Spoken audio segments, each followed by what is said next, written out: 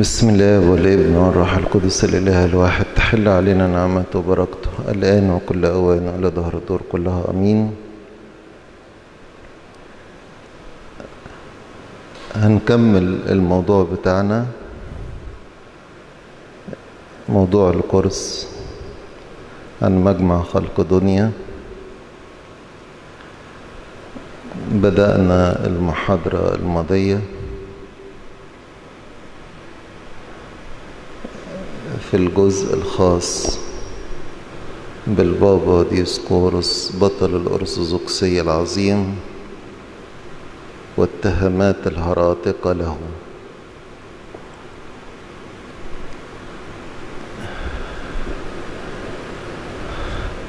هنعمل مراجعة سريعة عشان يعني نقدر نتابع في الموضوع. طبعا في بداية المجمع لما قلنا الكل راح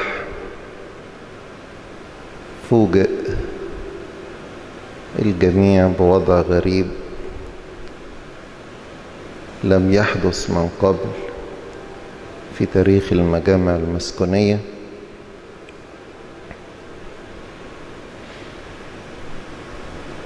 وجد في 18 واحد من القيادات المدنية ممثلين للإمبراطور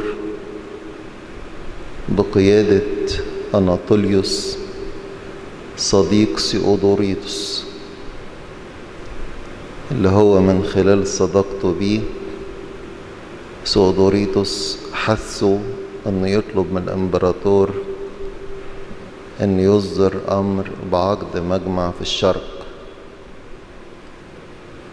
وطبعا ده موضوع له دلالته الواضحة المفاجأة التانية مندوبين لاون أول لما الآباء دخلوا خدوا مكانهم اللجنة دي في النص عن يسار اللجنة جلس مندوبين لاون. ومعاهم أناطوليوس واللي هم المجموعة القريبين من بعض في الفكر. جه البابا ديسكورس يجلس في مكانه فوجئ بمندوبين لاون يقولوا لا ده ما يقعدش هنا. ده يجلس كمتهم.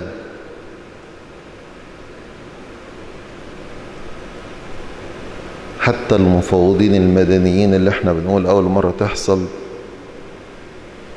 كان عندهم نوع من اللياقة أكتر. قالوا لهم الكلام ده ما ينفعش الكلام ده يتم بأمر المجمع كله. قالوا له عندنا أوامر من لاون إذا ده قعد إحنا هنمشي.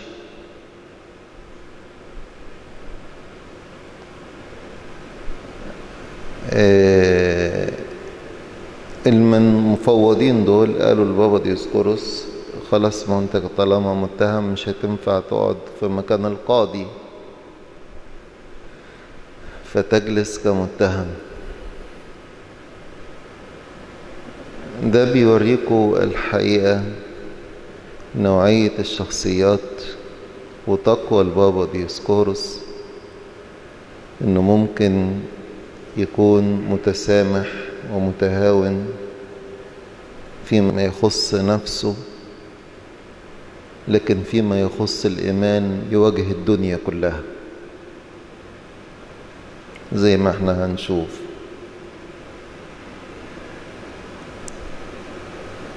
قعد جنب يوبناليوس والمجموعة اللي قلنا عليها على اليمين. قرأ خطاب مرقيان وحدد فيه المقاييس أو المرجعية في مناقشة أمور المجمع هتكون إيه. أول حاجة تحدد ما نادى به الآباء الرسل. خير وبركة. ده حاجة طبعا جميل. تحديدات مجمع نقية. ده ده طلب كنيستنا وما تعتز به ولا سيما يعني إيمان نقية. في إجماع عليه من الكنيسة كلها. وده كان يعني كنيسة الإسكندرية لها دور كبير بقيادة البابا ألكسندروس والقديس أثناسيوس الرسولي من كان وهو شماس.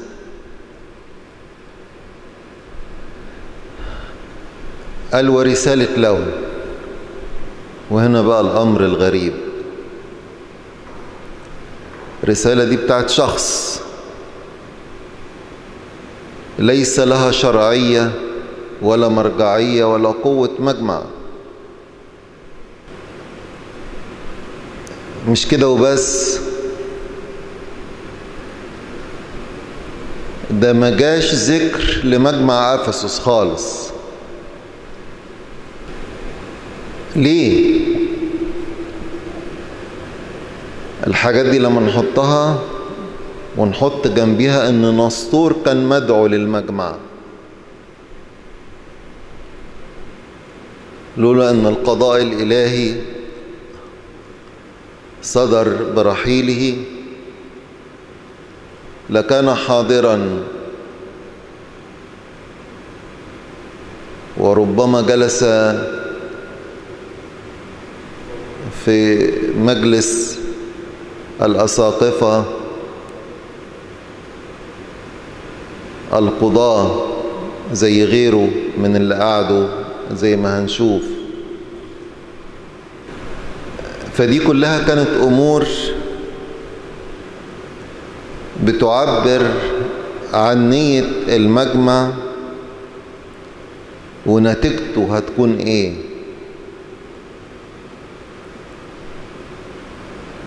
لكن من البداية بدأ المجمع يفقد شرعيته من خلال كل نقطة بنقولها سواء ناس مدنيين أو سواء مرجعية محرومة اللي هي توماس لاون تكون كمقياس سواء تحكم من لا سلطة له مين يبقى متهم؟ ومين يبقى قاضي؟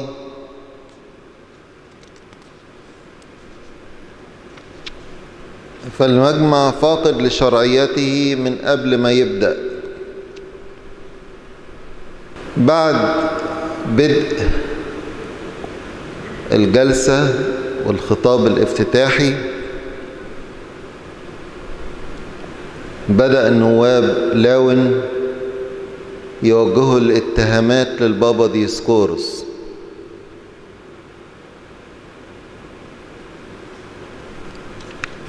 أول حاجة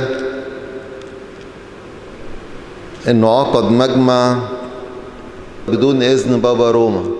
ما كانش يقولوا بابا ساعتها. كلمة بابا والبطريرك المسكوني دي خدوها من بعد مجمع خلق دنيا. كان لا يطلق لقب بابا غير على بابا الإسكندرية.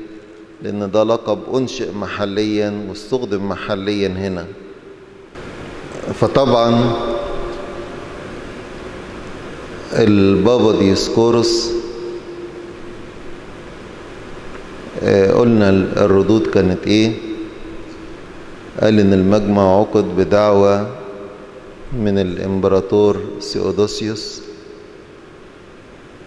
وده حال المجامع المسكونية. مجمع نيقية عقد بدعوة من الإمبراطور قسطنطين. مجمع القسطنطينية بدعوة من الإمبراطور سودوسيوس الكبير. مجمع أفسس 431 بدعوة من الإمبراطور سودوسيوس الصغير. مجمع أفسس 449 بس بدعوة من الإمبراطور سودوسيوس الصغير أيضا. وطالب وقال إن إحنا اجتمعنا بدعوة بتكليف من الإمبراطور وبعدين لم تكن المسؤولية لي وحدي ولكن الإمبراطور حدد المسؤولية ثلاثية بابا ديسكورس ويوبيناليوس أسقف أورشليم وتلاسيوس أسقف قيصرية الكبادوك والرئاسة متساوية. يعني الثلاثة لهم نفس الإيه؟ الوضع. بدأوا يقروا أعمال المجمع. مين حضر المجمع؟ فوجئوا يوسابيوس أسقف دريليوم المحروم والمعزول. من خلال مجمع مسكوني. فطبعا كان في احتجاج. إزاي ده يدخل ويجلس ويأخذ كرامة الأسقف وهو معزول؟ وهنا العجب المعزول والمحروم يقف كموجه اتهام والبابا ديسكوروس بطل الأرثوذكسية العظيم كمتهم. فقالوا له ده مدعي اتهام. مدعي اتهام. وبدأ يوجه هو كمان اتهامات للبابا ديسكورس إنه ثبت بدعة بحل أوطاخي وحكم عليه بالظلم هو وفيليبيانوس طيب اشمعنى البابا ديسكورس ما الرئاسة ما كانتش ليه لوحده؟ الكلام ده إحنا قلناه عشان كده بقوله بمرور سريع شوية. وبعدين قالوا ده داخل بكرامة الأسف لأن لاون أعطاه الحل وقبله في الشركة. يعني كسر وأصدر بكل القوانين والشرائع الكنسية. ودينا أمثلة بالفرق بين الشخصيات المرة اللي فاتت.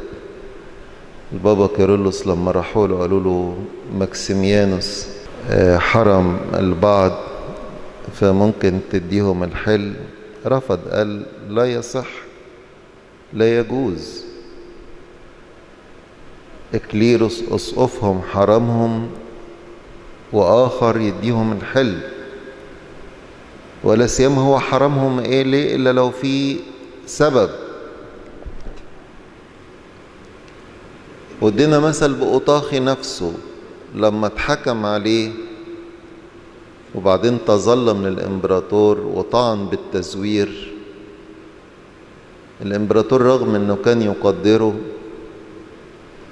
ما سمحلوش ما حدش اداله حل شكل لجنة من الأساقفة وحققت وأثبتت التزوير. الإمبراطور دعا لمجمع مسكوني والمجمع المسكوني هو اللي أحله. بدأوا يقروا أعمال المجمع القسطنطينية المكاني وأفسس المسكوني. ولما جم للخطاب بتاع الإمبراطور بالتوصية بعدم حضور سؤدوريتوس بصوا لقوا سؤدوريتوس داخل. أول لما دخل حصل ضجة. لأن سؤدوريتوس ده كان معروف هو يعني رأس الشرور كلها. من أيام البابا كيرلس. في المؤامرات والكذب والخداع والتطاول والتلون فقالوا لهم أنتوا معنى إن تدخلوا سؤدوريس كانكم بتطردوا القديس كورولوس على طول من المجمع. ده تطاول على القديس كورولوس الإمبراطور منعه لأنه علم بخلاف تعليم القديس كورولوس وإنه ناقض البنود ال 12 بتوع القديس كورولوس المنع كان له حيثيات وله أسباب. المهم طبعا لم يستجب ليهم وبدأوا يقروا أعمال المجمع. في مرجع طبعا بتاعهم كتاب مضمون المجمع الخلقدوني. بيلوموا البابا ديسكورس إنه ليه ما دخلش دول؟ مع إنه مش هو اللي كان مسؤول لوحده. فرد عليهم طبعا حسب يعني نص الكتاب دوت. بس زي ما قلت لكم الكتابة بتاعته في اللغة العربية ركيكة شوية. فبيقول لهم أسألكم تقروا شهادة ألبيزيوس فإني ليس منعته. لو لم يأتي واحد ده كان مندوب للملك يعني. بأمر الملك قائلا إنه كان أمره أن المذكور لا يدخل. أجاب يوبيناليوس أسقف أورشليم قائلا البيزيوس المكرم لم يأذن له بالدخول. وتلاسيوس المكرم أسقف قيصرية الكبدوك قال أنا ليس كنت سببا. أجابوا القضاة وقالوا في أمر الأمانة لم يقبل هذا العذر. ده في خصوص الإيمان العذر ده مش مقبول. فالقديس ديسكورس قال لهم إيه؟ قال لهم اذا كنتم تسلبوني كأني تعديت على القوانين فهل أنتم تحفظون القوانين في دخول سؤدوريتوس فأجاب القضاة والمحفل العظيم وقالوا أما تؤدوريتوس الاسقف دخل بمقام المشتكي؟ فقال ديسكورس ولا اي يعني ولماذا يجلس يعني في درجة الأساقفة؟ لا المشتكي بيبقى له وضع تاني لكن ده جالس كإيه؟ كعضو. أجابوا قالوا إن أوسابيوس الأسقف وسؤدوريتوس جلسوا في صف المشتكين كما أنتم أيضا جالسين في مقام أولئك الذين يسعى بهم. وفي موقف تاني قالوا إن لاون قضاء أعطاهم الحل والإمبراطور أمر بإيه؟ بدخولهم. آه قدموا تهم إن حكم على ثبت بدعة أوطاخي حكم على فليبيانوس استخدم المال والنفوس. طبعا كلها تهم باطلة. البابا ديسكورس أول لما قالوا له كده واتهموه في الإيمان إنه ثبت بدعة قال لهم لا لغاية كده بقى وإيه ونقف. تقرأ أعمال المجامع اللي تم الحكم على أساسها. بس قبل كل حاجة ينظر في أمر الإيمان. ينظر في أمر الإيمان. لأن على أساسه هنحكم. فزي ما قلنا قبل كده إن كان في اتفاق إن ما يدخلوش في حوار مع البابا ديسكورس فيما يخص الإيمان. ولكن يتعاملوا معاه من خلال الأمور النظامية والإجرائية. فقالوا له لا نبدأ بالاتهامات لأن الاتهامات دي شخصية. شوف الاتهامات الشخصية الأول. إيه الشخصي هنا؟ ما بيخص الإيمان. في مرجع تاني لسيلرز يقول ده أمروا بدخول سؤدوريتوس أول لما جاء سيرته طلب المفاوضون بتقديم الأسف إلى المجلس على أساس إن لاون قد أعادوا لمنصبه وأن مرقيان أمر بضرورة مشاركته في الإجراءات. دخول سؤدوريتوس الحقيقة كان من أفظع الأمور لأن كان من الناس اللي أخطأهم بينة. زي ما بنقول في خطايا بعض الناس تتقدمهم للقضاء. وكانت معلنة ومكتوبة. وده بتبين الاتجاهات ماشية إزاي؟ عبر عن كده كتاب تاريخ الكنيسة لزكريا الفصيح. وده كان معاصر للقديس ساويرس الأنطاكي بيقول عن سؤدوريتوس بيقول إيه؟ حينئذ توسل بيقول سؤدوريتوس المعزول يدخل خلق دنيا كأسقف مكرم. واعتبروه فعلا كرئيس غير رسمي.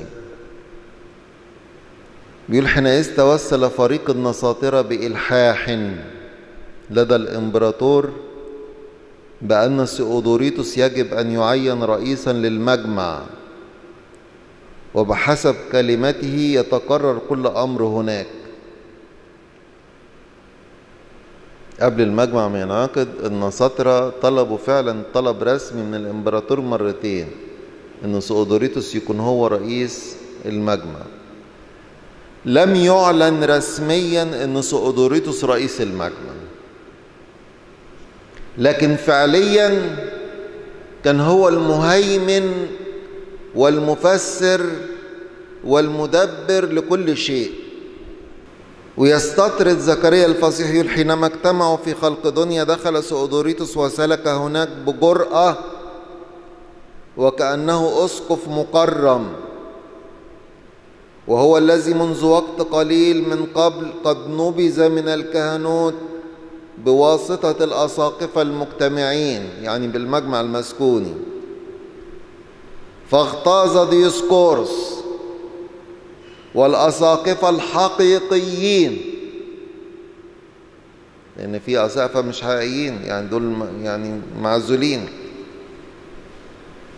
والأساقفة الحقيقيين من الغطرسة والوقاحة التي أظهرها هذا الإنسان ولكنهم لم يستطيعوا أن يوقفوها.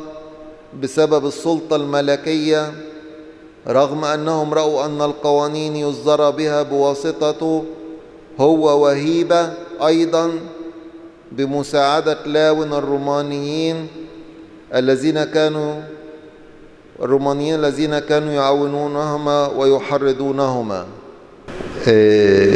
كانوا عملوا طريقة تاني.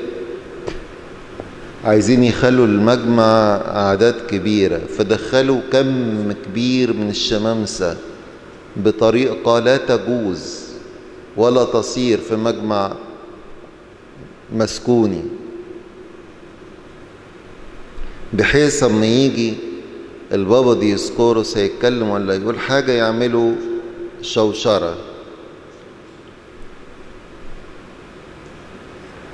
فالأساقفة المصريين فأكتر من مرة قالوا فالشمامسة كانوا الأولين في تثبيت القضية فلماذا يصرخون الآن؟ فالمجمع ليس هو اجتماع شمامسة بل اجتماع أساقفة. فاطردوا إلى خارج من ليس له كلام في المجمع. لما قالوا كده وتكرر مرة أخرى بيقولوا نسألكم أن تطردوا إلى خارج من ليس له كلام في المجمع. الملك دعا الأساقفة. المجمع هو للأساقفة. من ليس له كلاما لماذا يهتف؟ حينئذ أجاب تودروس أسقف مدينة كلاوديوس وقال كتبة ديوسكورس هم الصارخين.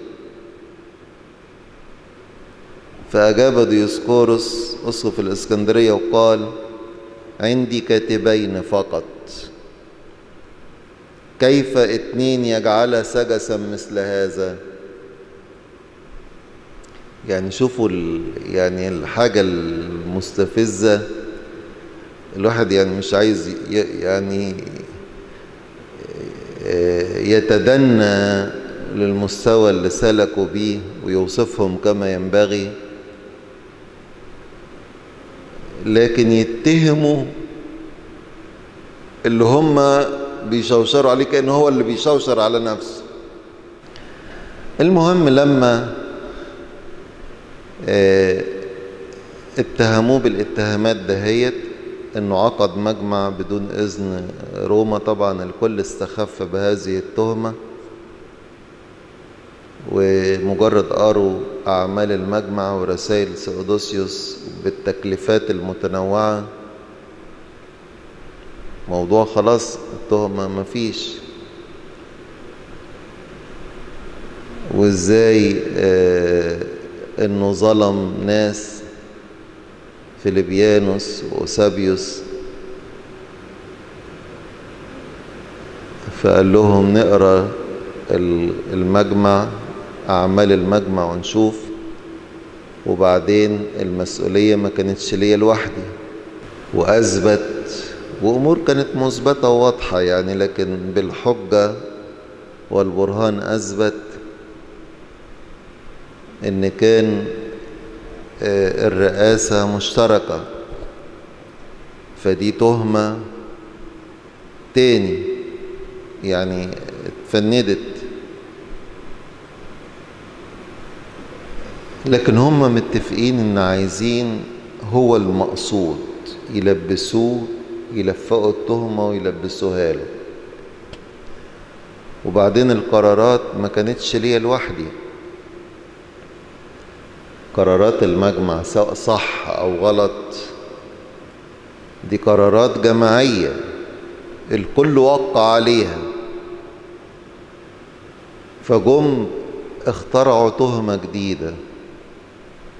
قالوا لا ده هو غصب علينا.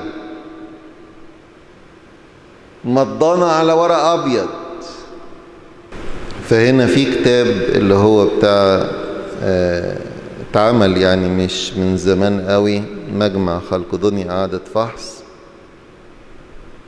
بيقول هنا تم السماح بقراءة محاضر جلسات مجمع أفسس عام 449 والتي تحوي في داخلها محاضر مجمع القسطنطينية المكاني عام 448 وبدأت القراءة بالأوامر الرسمية التي أصدرها الإمبراطور سودوسيوس الثاني لدعوة المجمع وعندما كملت قراءتها تساءل البابا ديسكوروس إذا كنا أمام حقيقة أن الإمبراطور قد عينه ويوبيناليوس وثلاسيوس كرؤساء للمجمع وكذلك إذا كانت كل قرارات المجمع قد اتخذت كلها بموافقتهم جميعا فكيف يتم استبعاده وحده ومحاكمته؟ وهنا حاول الفريق الشرقي الذي في الجانب الأيسر.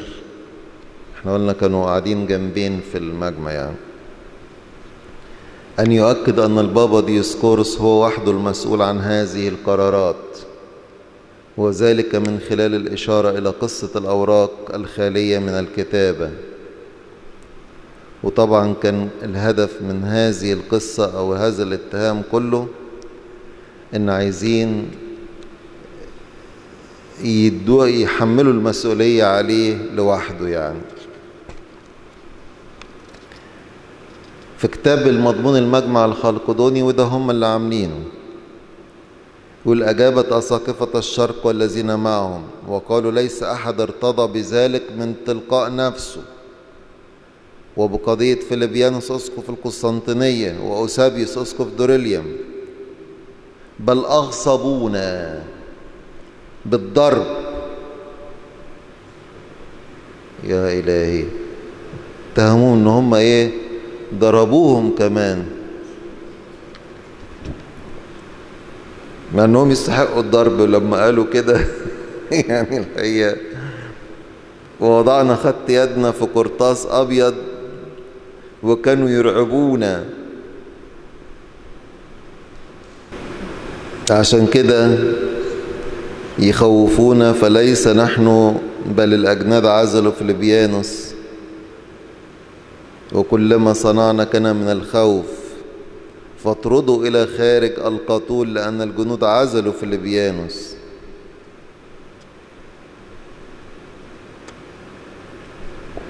فالبابا ديسكورس طبعا لما لقاهم تنصلوا من توقيعاتهم قال لهم ساخرا كيف تسنى لكم أن توقعوا على ما تستوضحوه؟ أساقفة مصر طبعا شافوهم بيقولوا كده خوفونا هددونا. فاستفزوا الأساقفة المصريين. إيه اللي بتقولوه ده؟ هو جندي المسيح يهاب الموت؟ يخاف من حد؟ أوقدوا النيران لنريكم كيف يكون الاستشهاد. فطبعا بدأوا يتكسفوا ويتراجعوا يقولوا أخطينا نطلب الغفران. اتهموا البابا ديسكورس بأنه زور أعمال مجمع أفسس لأنه استخدم كتابته فقط.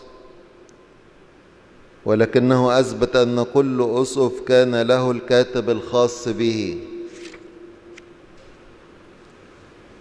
الكتاب ده مرجعهم برضو. قال فأجاب ديسكورس وقال كل واحد من الأساقفة كان له كتبة فكتبتي كتبوا نسختي وكتبت يوبناليوس الأسف كتبوا نسخته. وكتبت تلاسيوس الأسف كتبوا نسخته. وكان كتب كثيرين معنا الأساقفة الآخرين وكلهم كتبوا الأعمال. وليس كتبتي وحدهم. كتبوها لأن كل واحد كان له كاتب خصوصي. ثم أجاب يوبناليوس أسف أورشليم وقال كان لي كاتب فقط وهو كتب مع الآخرين. ثم قال تلاسيوس وأنا أيضا كان لي كاتبا واحدا وهو كان يكتب مع الآخرين. ثم أجاب ديسكورس الأسقف وقال ها أنا ذا كاتب يوبيناليوس الأسقف كتب مع الآخرين وكاتب تلاسيوس الأسقف أيضا وكاتب أسقف كورونيا فلماذا قالوا عن كتابتي إنهم وحدهم كتبوا الأعمال؟ فطبعا كان شيء مزري. فطبعا لما لقوا نفسهم انكشفوا كده مين كان متخصص في تدبير الاتهامات والمقطع وسابيوس كده عرفتوا التخصصات يعني. اتفق مع واحد اسمه استفانوس اسقف أفسس. لأن هي كانت تهمة عامة كده. ففندها وردوا عليها وان مش كل واحد مش كتبته كتبوا كل حاجة ما لموش ورق أبيض وهم اللي كتبوا ده كل واحد كان له الكتبة بتاعته بيكتبوا فيوسابيوس لقى الحكاية هتفلت منه. فقال ثم قال أوسابيوس أسقف دوريليوم اسألوا الآن استفانوس الأسقف المذكور في أي ورقة كتبوا خطوطهم؟ أجاب الأسقف استفانوس وقال في قرطاس أبيض. وفي تلك الساعة التي صارت القضية حينئذ صار تثبتها ثم قال ديسكورس الأسقف يقرأ اعتراف استفانوس الأسف لأنه يظن أني أرغمت بذلك الاعتراف. قال له طب هات الاعتراف اللي, اللي, اللي أنت كاتبه نقراه نشوف اذا كنت أنا اللي إحنا اللي كتبناه لك ولا أنت اللي كاتبينه بإيه بخطكم. طبعا لم يستجب أحد. في واحد تاني باسيليوس أسقف صالح. كان في مجمع القسطنطينية المكاني أقر بالطبعتين ورجع في مجمع أفسس المسكوني. تراجع عن كده.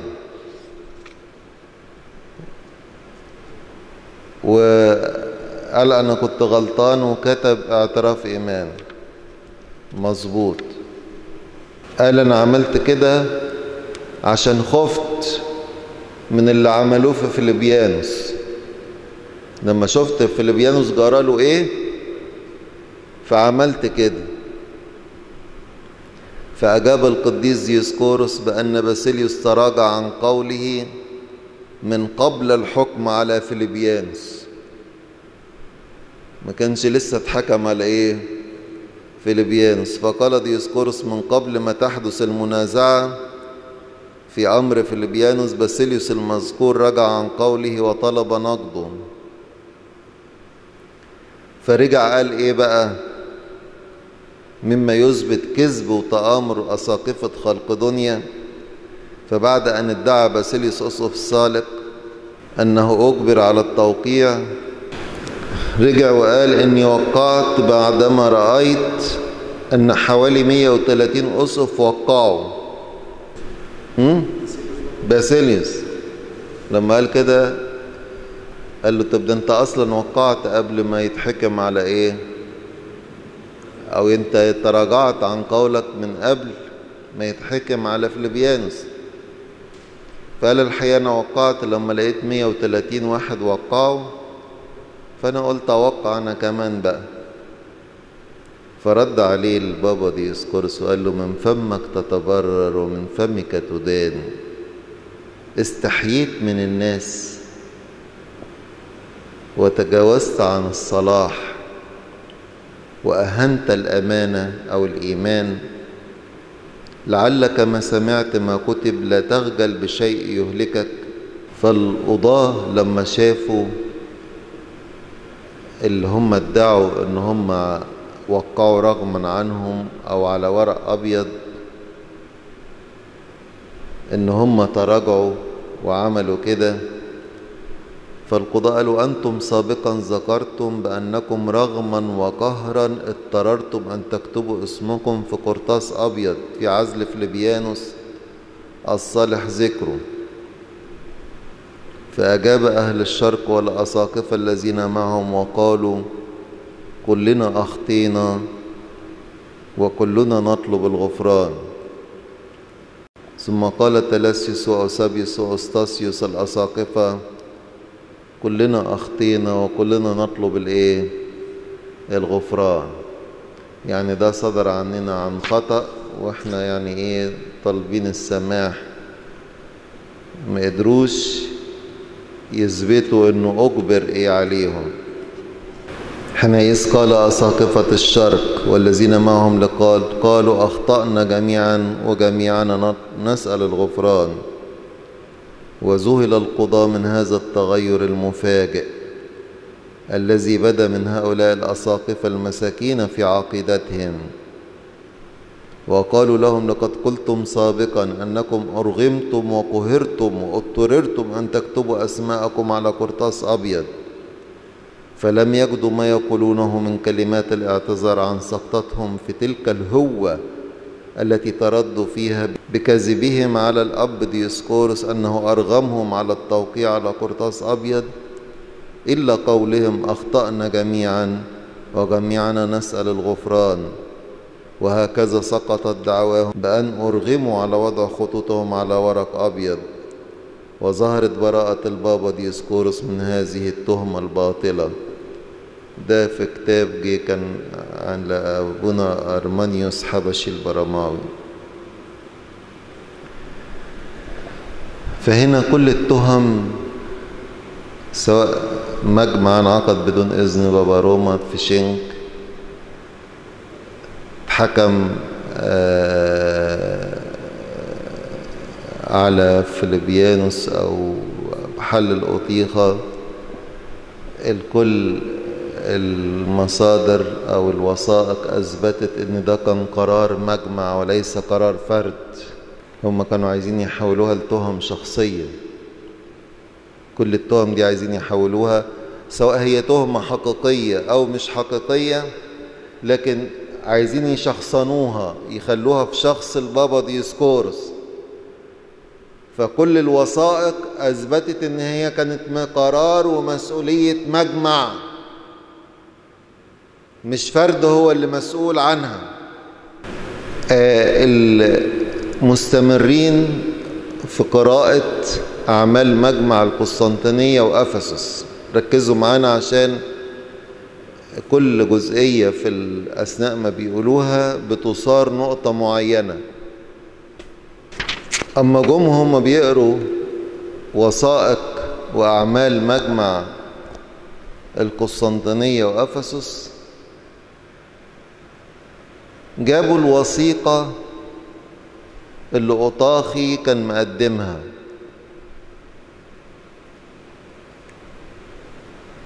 كأعمال مجمع. وحذفوا منها أهم جملتين.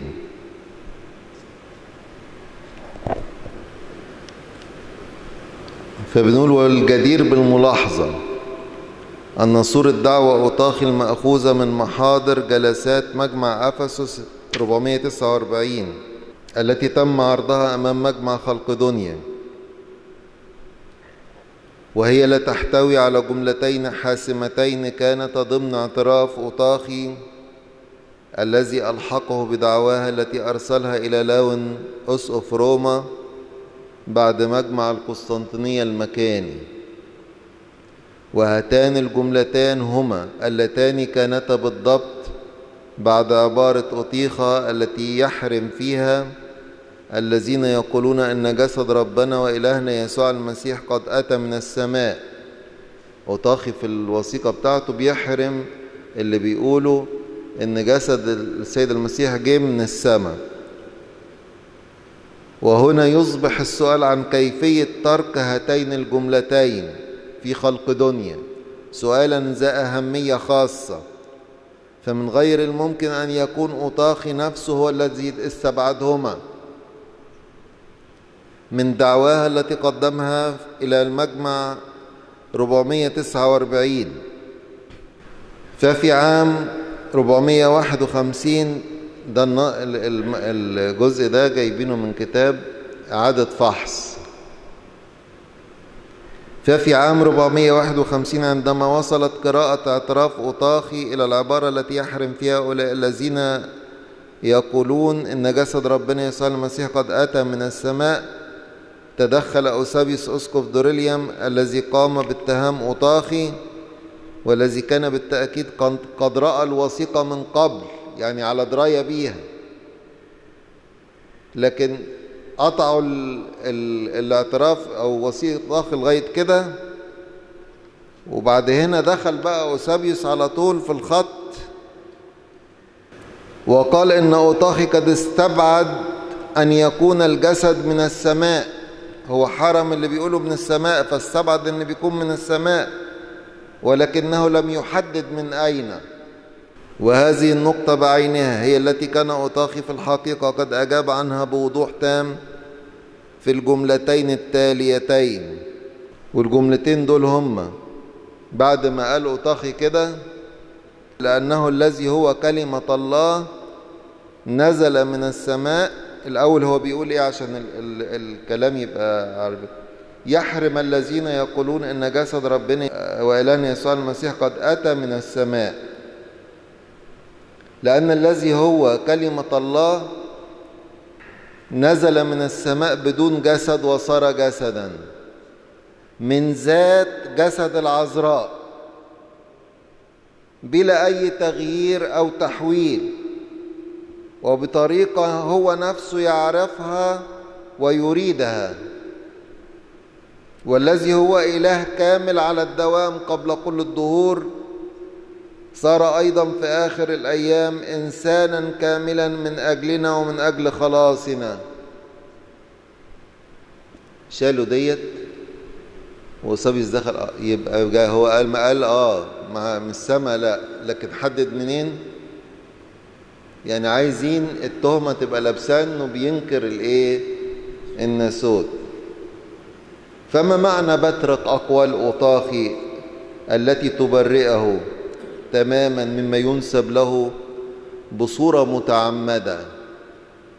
ليه؟ بالإضافة لاستبعاده وعدم حضوره. يعني اولا يبطروا أقواله ومفروض شكليا أو حسب ما هو معلن المجمع منعقد عشان أطاخي. طب ما جابوهوش ليه؟ ما حضرش ليه؟ استبعدوه ليه؟ فما معنى هذا؟ إلا الإصرار على الحكم بإدانة البابا ديسكورس. أو بالأحرى إدانة إيمانه الأرثوذكسي وإقرار عقيدة الطبيعتين لأن هم كان أي حد البابا كورولوس عانى من الحتة ديت أي حد يقول بالطبيعة الواحدة مهما يقول كامل في لاهوته كامل في ناسوته آه الطبيعة من طبيعتين بغير اختلاط ولا امتزاج ولا تغيير مفيش فايدة. عندهم طبيعة واحدة يبقى أنت بتلاشي أو بتقلل من الناسوت. وفي الواقع يوجد بعض العلماء والدارسين الذين يرون أن الزعم بأن أوطاخي كان هرطوقيا بصورة مؤكدة هو أمر يصعب إثباته بصورة قاطعة. وقد قدم تلك الرؤية كل من توماس كاملوت وبول جالتيه فيرى أن أوطاخي لم يكن هرطوقيا. أما بول فأظهر أن القديس كورولوس السكندري لم يقر أبدا بعبارة طبيعتين بعد الاتحاد ولا بالعبارة القريبة لها في طبيعتين. يعني كان بيعتبر أن أوطاخي كان بيقول بطبيعة واحدة مثلما قال مين؟ القديس كيرلس. ميخائيل الكبير. يعلق يقول إيه؟ ولما تلي جزء من مذكرة أوطاخي المتضمن قوله أن المجمع المقدس الذي ترأسه الطيب الذكر القديس كيرلس قرر أن يعاقب كل من يحور تحديد الإيمان الذي حدد في نقية بالزيادة أو بالنقصان. قال أوسابيوس أس أوف دوريليوم كذب يعني المجمع أوطاخي بيقول إن المجمع أفسس حرم إن أي إضافة أو نقص في تحديد الإيمان اللي اتحدد في نقية. فأوسابيوس قال كذب. ليس هناك قانون بهذا الصدد. ده الكلام ده أثناء قراءة الأعمال. فبقول لكم كل نقطة بيبقى عليها تعليقات.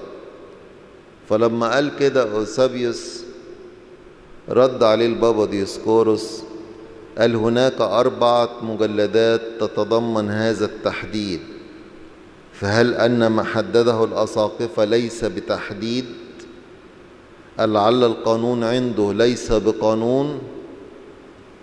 فهناك نسخ لدي أربعة من أمناء الخزائن وفي حوزتي أيضا وحوزة فلان وفلان. فإن جمعت هذه النسخ سيتضح منها من الذي ينوي تغيير إيمان الآباء القديسين. ليه منفعل قوي كده لما بنقول مجمع أفسس حرم اللي يضيف ويحذف وينقص. مين اللي ناوي يضيف تحديدات للإيمان جديدة؟ مين اللي ناوي يقر وثيقة هرطوقية جديدة كأنها وثيقة إيمان؟ وهذا يظهر النية المبيتة والإصرار الشرير على تحوير تحديد الإيمان. آه طبعا أصحاب الطبيعتين ومن بعدهم الخلقدونيين ما يحبوش مجمع أفسس. لكن ما يقدروش ما يعترفوش بيه صراحة. فاختزلوا مجمع أفسس بكل ما فيه وأهم ما فيه إلى رسالة واحدة فقط للقديس كيرلس اللي هي الرسالة الثانية لنسطور. وأضافوا عليها رسالة من القديس كيرلس ليوحنا الأنطاكي اللي هي كتبت في سنة 433 وإدعوا إن دي تحوي صيغة المصالحة. إيه هي صيغة المصالحة؟ اللي إحنا اتكلمنا عليها بالتفصيل واللي دايما بنقول محدش يقدر يحضر معانا الكورسات دهيت ويتابعها ما لم يكن حاضر من الأول لأن مش هيقدر يفهم مدلول الكلمات دهيت. وممكن لو جينا نقوله نعلق عليه يفهم بطريقة مختلفة. اللي هي الإدعاء الخاص بمصالحة 433 الخاص بعرض إيمان اللي قدمه بعض الأساقفة من الشرق اللي بيه ادعوا إن هيردوا على اللي بيتهموا البابا كيرلس بالأبولينارية واللي البابا كيرلس تحفظ على كلماته قال كتب الشرقيين بيقولوا كذا أما اللي بيتهمونا بالأبولينارية كتب رده. وبعد ما ادعوا بهذا الادعاء البابا كيرلس قاوم ورفض هذا الادعاء قال لم نصدر بيانا جديدا للإيمان ولم نقبل بيانا من أحد. ده كلامه هو. وقال كتبوا بطريقة غامضة. إيمانهم بطريقة غامضة ثم أضافوا خلسة بعض التعبيرات التي تظهرهم أنهم لم يكونوا أنقياء تماما من هزر نسطور فالإدعاء دوت بدأوا يسموه وما زال في الرسالة ديت في الكنائس الخلقودية يسموها دستور إيمان مجمع أفسس أو مجمع أفسس بعد التعديلات باعتبار أن القديس كورلس تراجع عن البنود ال 12 أو عدل تفسيره لها فأصبحت كده. فهنا لما جم هيقروها لأن كان زي ما قلنا كل مجمع القسطنطينية المكاني الخاص بأوطاخي ومجمع أفسس ومجمع خلق دنيا أيضا الصراع قائم حول هذا الادعاء. مصالحة 433 في مجمع القسطنطينية المكاني أرادوا من خلال إدانة أوطاخي إقرار هذا الادعاء. في مجمع أفسس المسكوني رفض البابا ديسكورس ومن معه من كل الأساقفة الأرثوذكس في العالم هذا الإدعاء رفض تماما. وجايين في خلق دنيا عايزين يردوا الإيه؟ يقرروا الإدعاء بس بصورة أخرى. فهنا قلنا الرسالة دي أو الإدعاء دوت حدث والبابا كيرلس عايش. فالبابا كيرلس كان بيرد وبيؤكد لأن قالوا إن القديس كيرلس أقر بالطبيعتين. لأنه في في الاعتراف الإيمان ده بيقول اتحدت الطبيعتين. قال طب ما طبعا اتحد. لما بنقول اتحاد لابد اتحاد من أكتر من حاجة. لكن ما بعد الاتحاد تبطل الاثنينية إحنا هنيجي يعني في اتمنى يعني في محاضرة أخرى في خلال هذا الكورس هتكون لاهوتية شوية. ونشرح الأمور يعني الخلاصة اللاهوتية لكل هذه الأمور. لكن هنا لما جه اثناء قراءة هذه الرسالة من خلال اعمال المجامع اللي هم بيقروها في خلق دنيا أشار أستاسيوس أسقف بيروت إلى الذين يحرفون تعاليم القديس كورولوس ومركزين فقط على رسالتيه لنسطور ويوحنا الأنطاكي مما حدب القديس كيرلس أن يقضي بقية عمره يفسر ويوضح مفهومه الصحيح من خلال الرسائل التي كتبها بعد مصالحة 433 وقد أورد ميخائيل الكبير هذا في الباب الخامس من كتابه قائلا. شوفوا بقى ميخائيل الكبير قال إيه. بعد تلاوة محاضر أفسس المشار إليها. ورسائل القديس كورولوس قال أستاسيوس البار أسقف بيروت اعلموا قداستكم أن الله سمح بأن يحوم الشك حول كيرلس البار رئيس الأساقفة بسبب كتاباته التي لم يفهمها البعض جيدا أنه يدرك كل ما يعلمه. وقد عمل على نشر كافة الكتابات الجيدة. فقد طالب الجميع وبخاصة أولئك الذين يميلون إلى التحريف بفحص تعليمه العقيدي. لكن غيرهم استندوا في شكهم في عقيدة الطباوي إلى الرسائل التي تليت الآن إلى نسطور وليوحنا الأنطاكي لذلك رأى لزاما عليه بيتكلم عن القديس كورولوس أن يشتغل بهذا العمل التقوي مدى أيام حياته معلنا أهدافه وما يكن في داخله عن طريق مراسلاته إلى طيب الذكر القديسين أقاق طبعا الكتابة في الترجمات أكاكيوس وممكن يقولوا أقاق يعني هتلاقوا الأسماء بتتنطق بطرق مختلفة يعني. فاسمحوا لي هفوت الأسماء في نطقها. أنا نفسي بتلخبط في في طريقة كتابة النطق الأسماء. إلا أسقف مالاتيا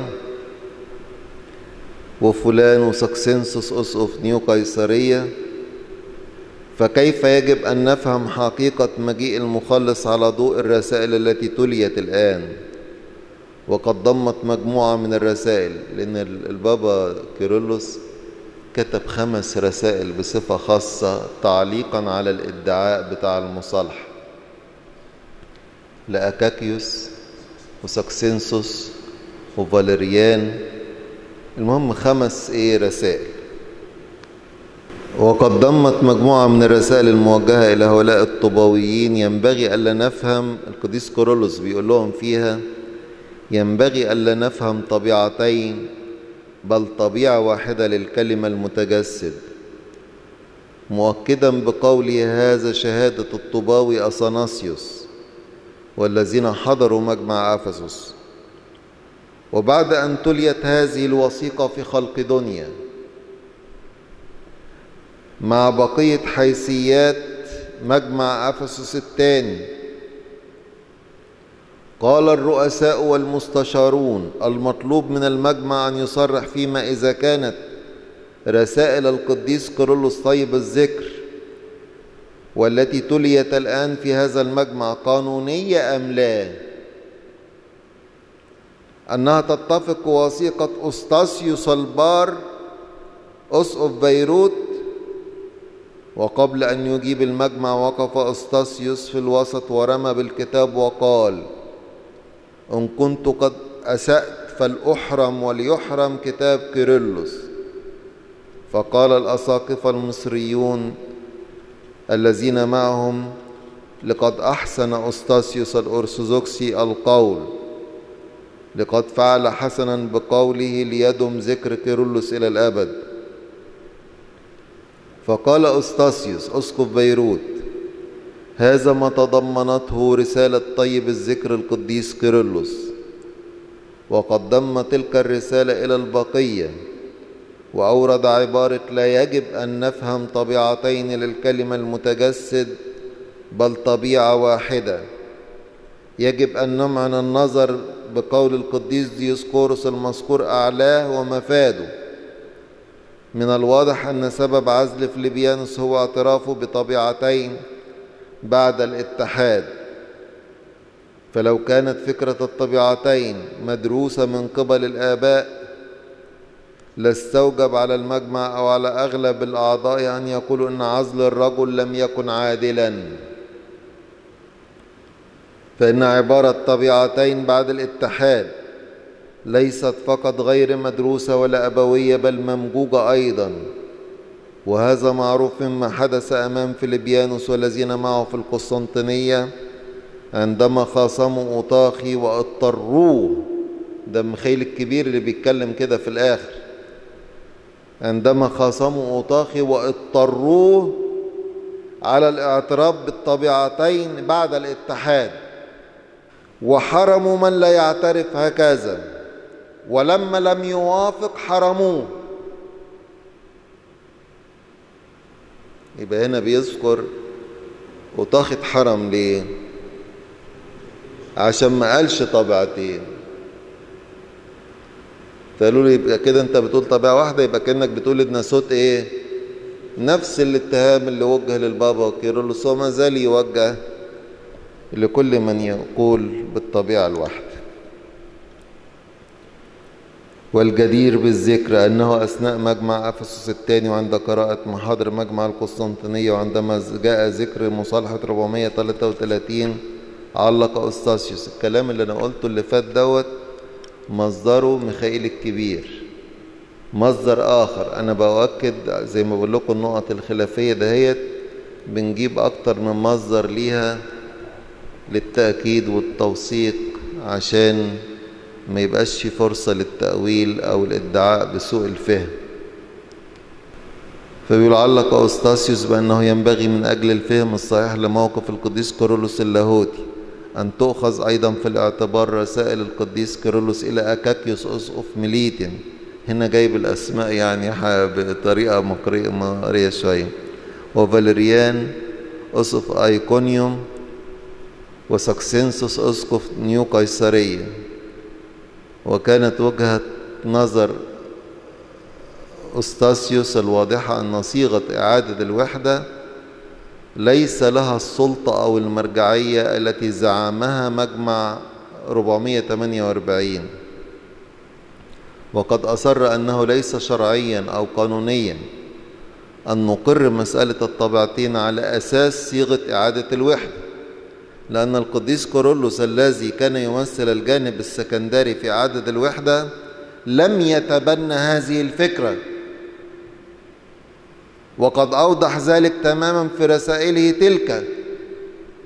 ومن هنا دفع أستاسيوس بأن الموقف اللاهوتي الكورولوسي كان لا يزال في عام 433 متمسكا بصيغة طبيعة واحدة متجسدة لله الكلمة ومقرا بشهادة المطوب أثناسيوس.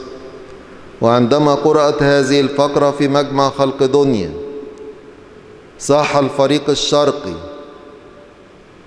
أما قالوا الحتة دي في مجمع خلق دنيا بتوع الشرق قالوا إن أوطاخي يقول نفس هذه الأشياء. وديسكوروس أيضا يقول هذه الأشياء. وهنا قال البابا ديسكوروس نحن لا نتكلم عن اختلاط ولا انفصال ولا تغيير. الحاجات اللي اتهموا بها أوطاخي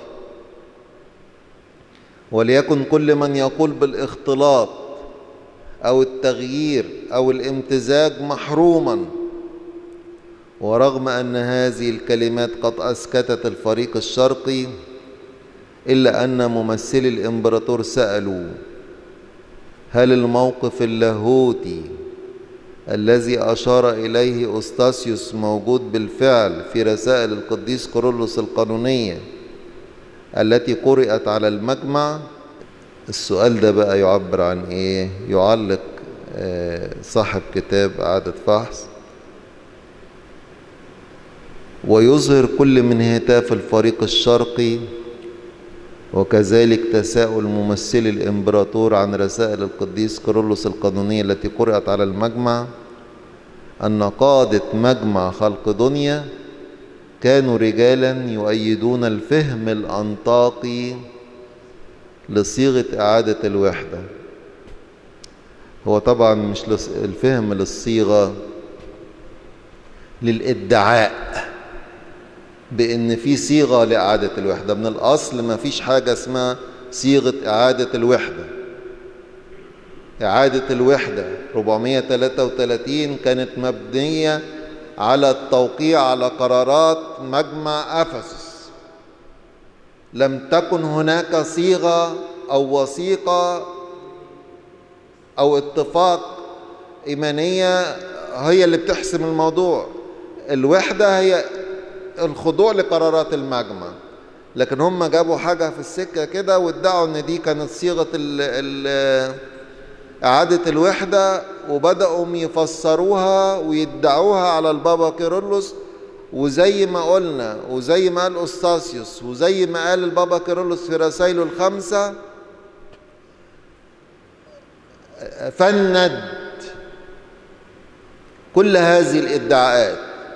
والغريب إنهم ما زالوا إلى يومنا هذا كنائس الخلقدونيه تتهمنا وتدعي علينا إن إحنا الرسائل دي بنفهمها مش مظبوط.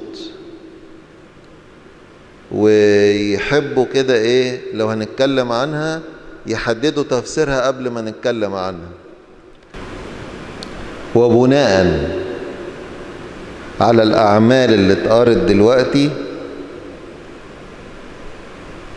ما هو قروا أعمال مجمع القسطنطينية ومجمع أفسس. فالبابا ديسكورس من خلال الأعمال ديت بيبين حيثيات الحكم على فلابيانوس كان إيه؟ إن فلابيانوس أصر على طبيعتين بعد الاتحاد في حين إن البابا كيرلس ومجمع أفسس أكد على طبيعة واحدة لله الكلمة المتجسد. وبالتالي برأ مجمع أفسس الثاني المنعقد عام 449 أوطاخي وأدان فيليبيانوس وأوسابيوس. إن مجمع هنا بيعلق بقى صمويل بتاع كتاب إعادة فحص بيقول إن مجمع سنة 449 حكم ببراءة الموقف اللاهوتي الذي اتخذه مجمع 431 كأساس لاهوتي لإدانة نصور وفي ضوئه حكم ببراءة أوطاخي من ناحية وبحرمان فيليفيان ويوسابيوس من الناحية الأخرى. بناء على الفهم السليم لمجمع أفسس افسس 431 فبناء عليه قدر يحكم إن اوطاخي بريء وفيليبيانوس محروم. هنا بقى صاحب كتاب إعادة فحص بيقول وبكلمات أخرى. أكد مجمع سنة 449 على الرؤية السكندرية لإعادة الوحدة سنة 433 كرؤية معارضة للتفسير الأنطاقي الذي أقره مجمع 448 يعني زي ما قلت لكم كان الصراع بين المجمع المكاني آه ادعوا حاجة عايزين يقروها فجه المجمع المسكوني لغاها.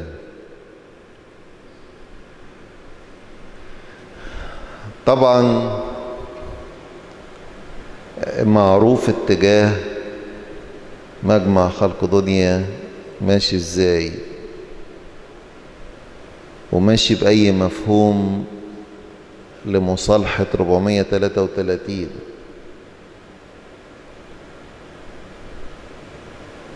فلما جم بيقروا الأعمال دهيت أستاسيوس قال كده في المجمع أفسس أثناء مجمع أفسس ومجمع القسطنطينية. وكان حاضر في خلق دنيا وأيد كده. لكن شاف بعينيه اتجاه اللي موجودين ماشي إزاي. فرغم إن كان كلامه كله كويس هيغلط غلطة هتأدي لنتائج مش كويس.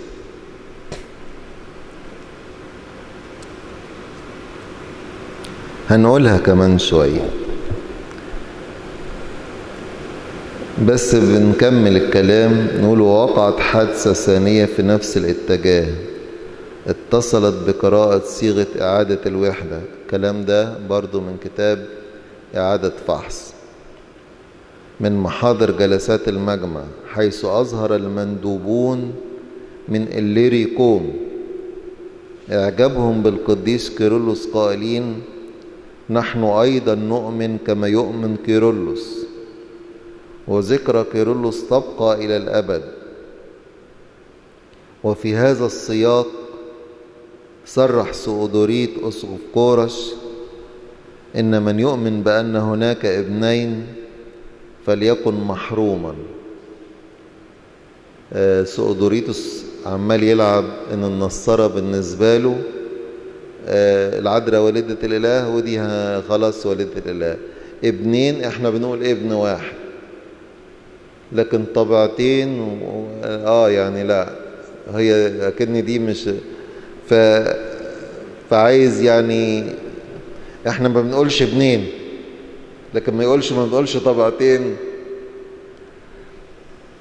فيقول إن من يؤمن بأن هناك ابنين فليكن محروما. وخلي بالكم من الحتت الجاية ديت. وأعلن الشرقيون أن لون روما يقبل صيغة إعادة الوحدة كما يقبلها أيضا كل من فيليبيان وأوسابيوس. خلي بالكم النقطة اللي عايزين نحط عليها الضوء ممكن محدش ياخد لباله منها في كل الصراع القائم ديت. محوره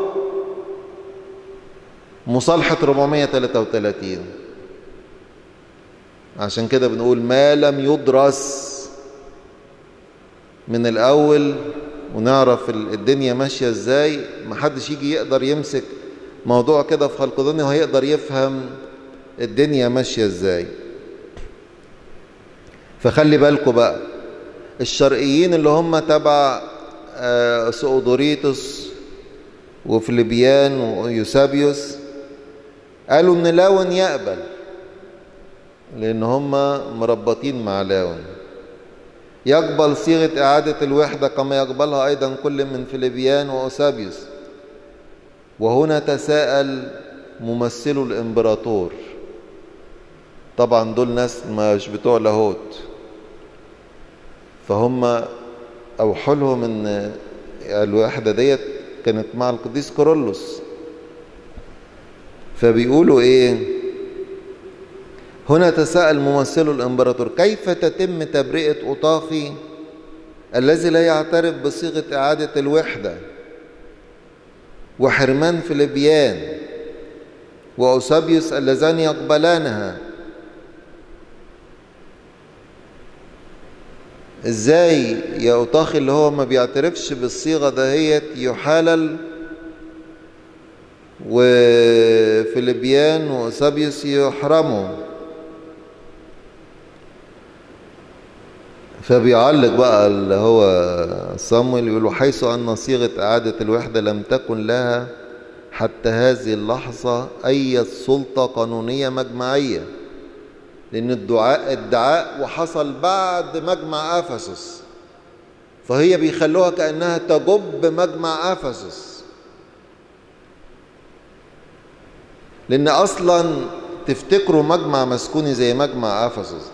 هل من حق البابا كيرلس اللي هو اللي مجمع حدد وحرم أي تحديد بالإضافة والحذف يحرم؟ هل يقدر يعمل صيغة إيمانية قانونية لوحده؟ ويلغي كتاباته؟ طبعا الموضوع ده شرحناه بالتفصيل بس إحنا بنقوله للتذكرة. يقول حيث أن صيغة إعادة الوحدة لم تكن لها حتى هذه اللحظة أي سلطة قانونية مجمعية فإن سؤال ممثلي الإمبراطور كان يعني ضمنيا الوضع المتسبب في الشقاق بين الجانبين السكندري والأنطاكي وهو تفسير كل من الجانبين لصيغة إعادة الوحدة بطريقة مختلفة. وهنا طلب البابا ديسكورس أن تستمر قراءة المحاضر. ده تعليق صامويل. إن في صيغة إعادة الوحدة ديت بتفسر بطريقتين. لكن إحنا من الأصل بنقول ما فيش حاجة اسمها صيغة إعادة الوحدة. وبنكرر ما قاله البابا كيرلس. لم نصدر بيانا جديدا للإيمان ولم نقبل بيانا صاغه آخرون. وقال على هذه الصيغة اللي هو عرض الإيمان قال كلامه هو وصفه بالغموض. يعني ممكن يتفسر بأكتر من إيه؟ من طريقة. وقال إن أضافوا عليه بعض الكلمات التي تظهرهم أنهم لم يكونوا أنقياء تماما من هذا النصور كل دي تعليقات الباب على ما يدعونه صيغة إعادة الوحدة. اللي جاي ده تعليقي.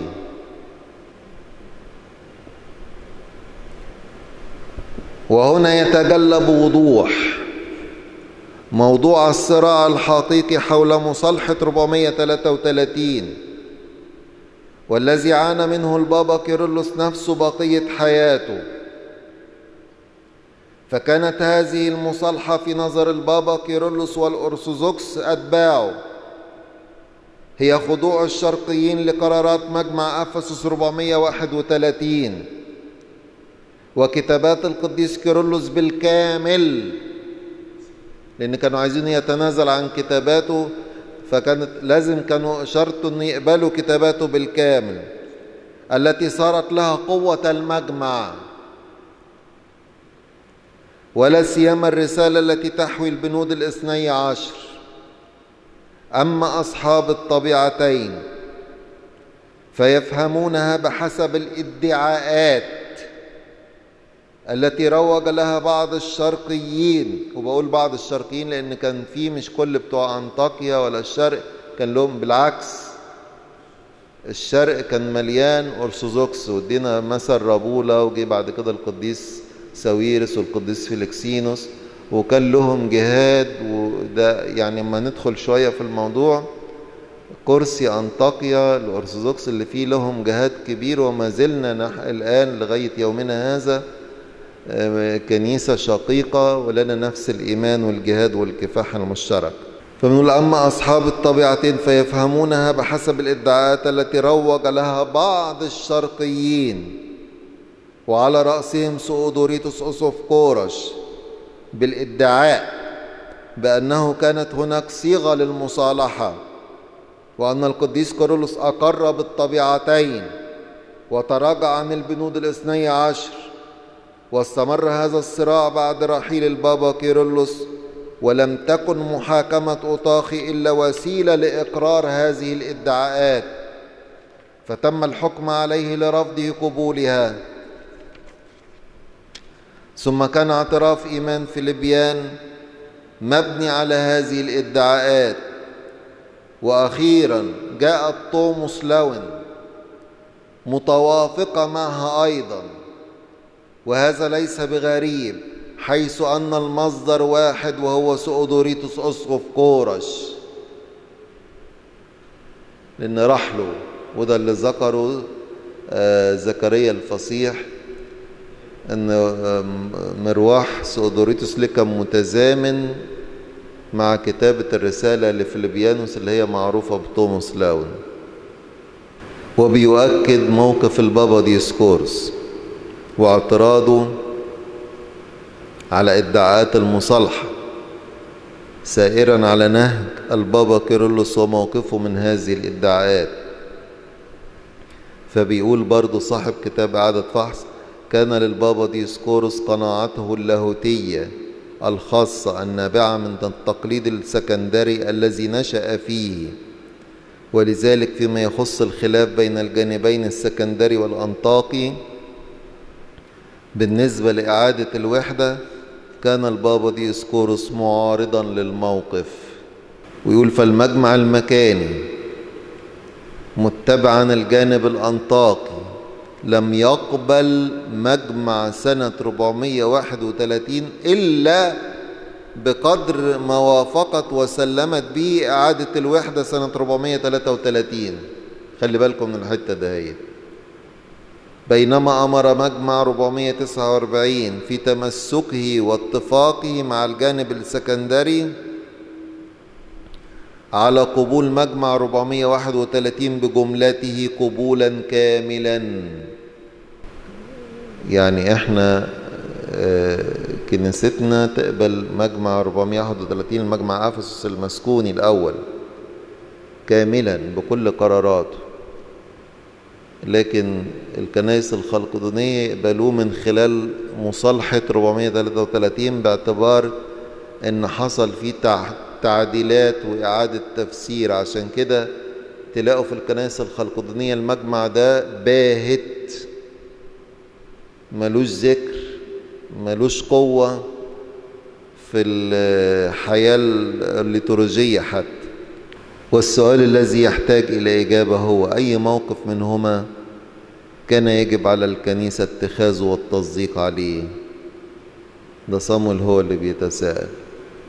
يعني هو موضوع الصراع زي ما أنا قلت من شوية الصراع قائم الادعاء اللي بناء عليه القديس كيرلس اعترف بطبيعتين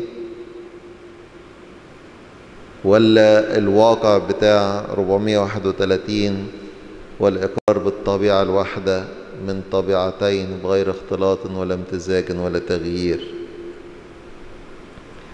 وكان هذا السؤال هو محور الصراع في هذه المرحلة. وظلت الكنيسة الأرثوذكسية متمسكة بقبول مجمع أفسس 431 قبولا كاملا. ورفضت تحديدات المجمع غير الشرعي في خلق دنيا رفضا كاملا.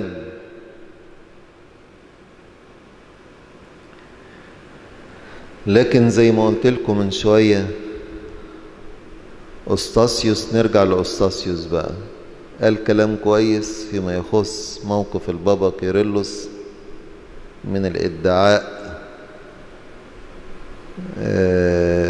بمصالحة 433 وإنه أقر بطبعتين ولكن التيار اللي هو شايفه إن كان ماشي في أي اتجاه الاتجاه المضاد فشعر إنه في خطر.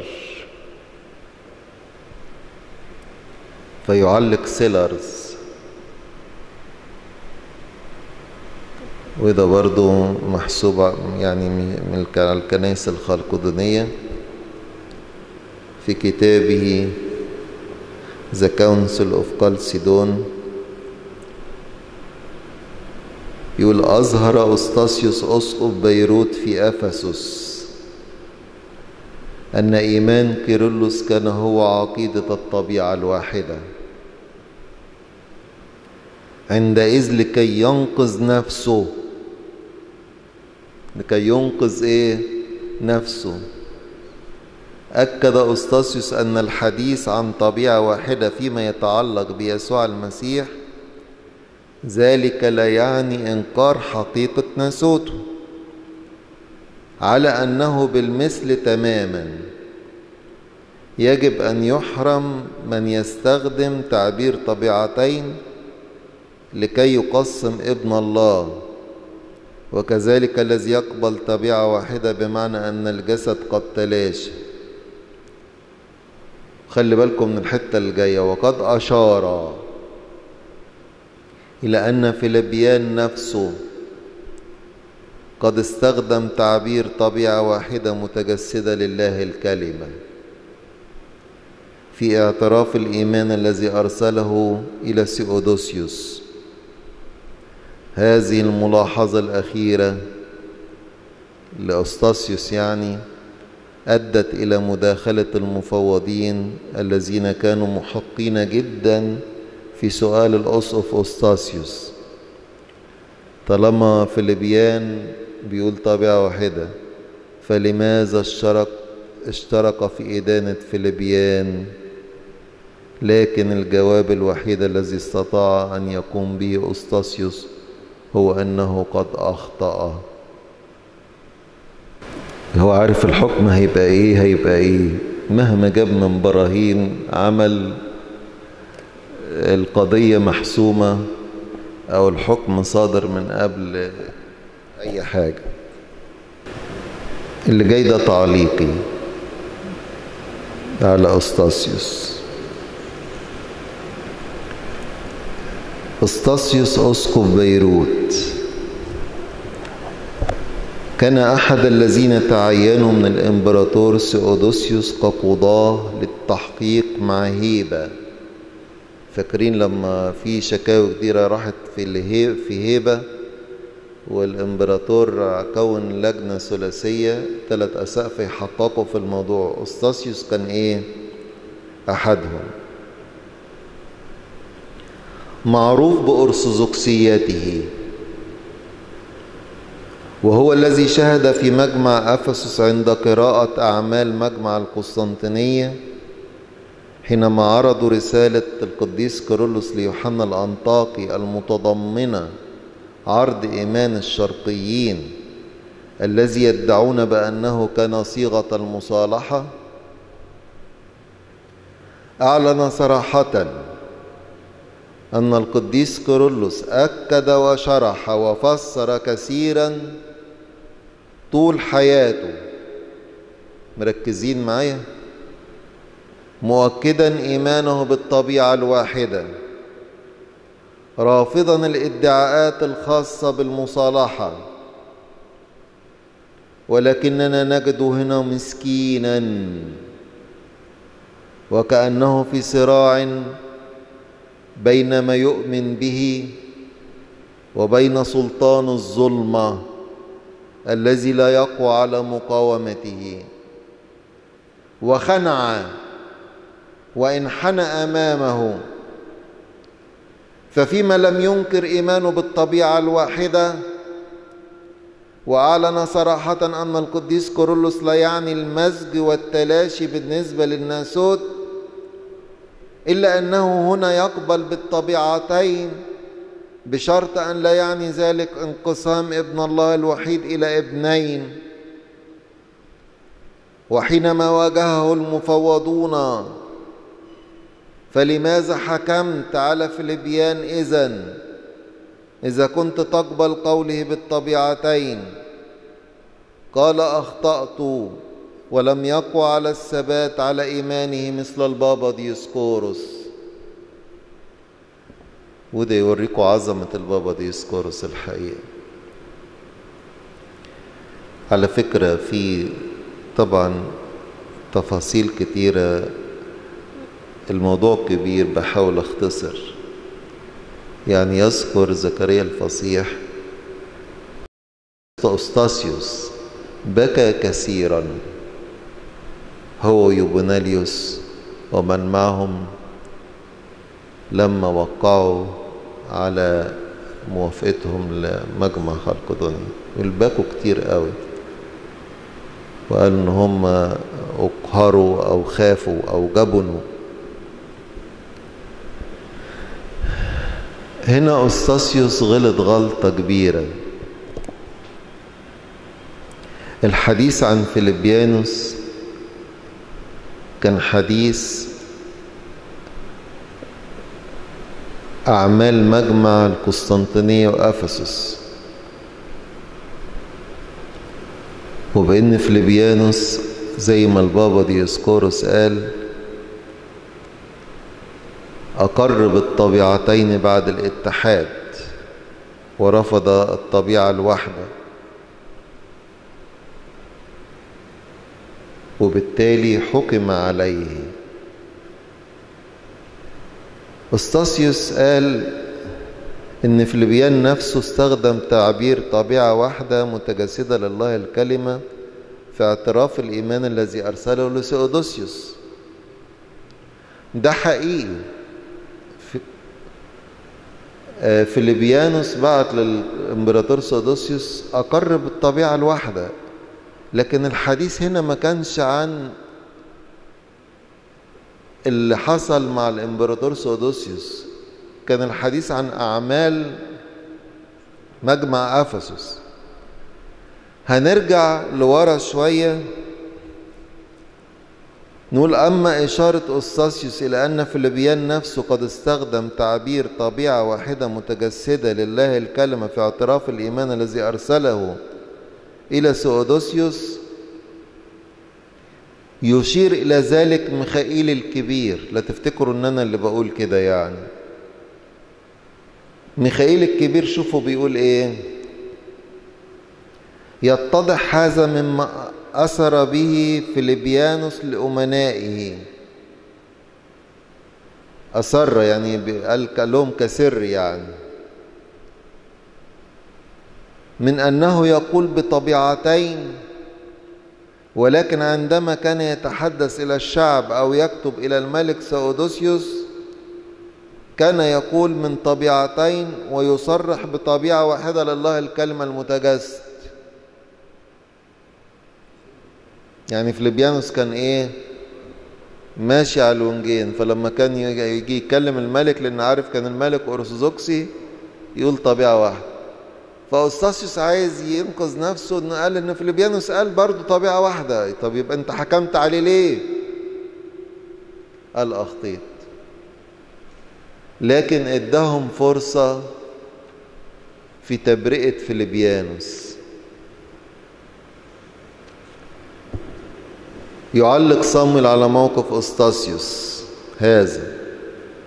يقول كان أستاسيوس قد دافع عن الموقف السكندري بصورة جيدة وكان عليه أن يتوقف عند هذا الحد وبالتالي لن تكون مسألة تبرئة فيليبيان وأوسابيوس بالأمر اليسير لأن كان كل الحقائق والوثائق تدينهم في أعمال المجمع أن رفضوا القول بالطبيعة الواحدة مصرين بطبيعتين بعد بعد الاتحاد.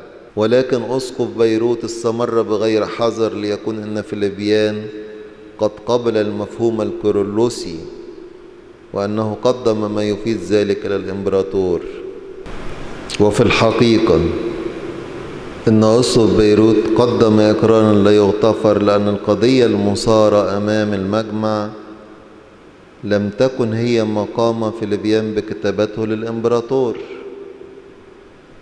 يعني إحنا بنحقق في مجمع ده جاب حاجة قالها للإمبراطور في خطابه الدبلوماسي ولكنها كانت حول الأساس الذي اعتمد عليه مجمع 448 في اتهام أوطاخي.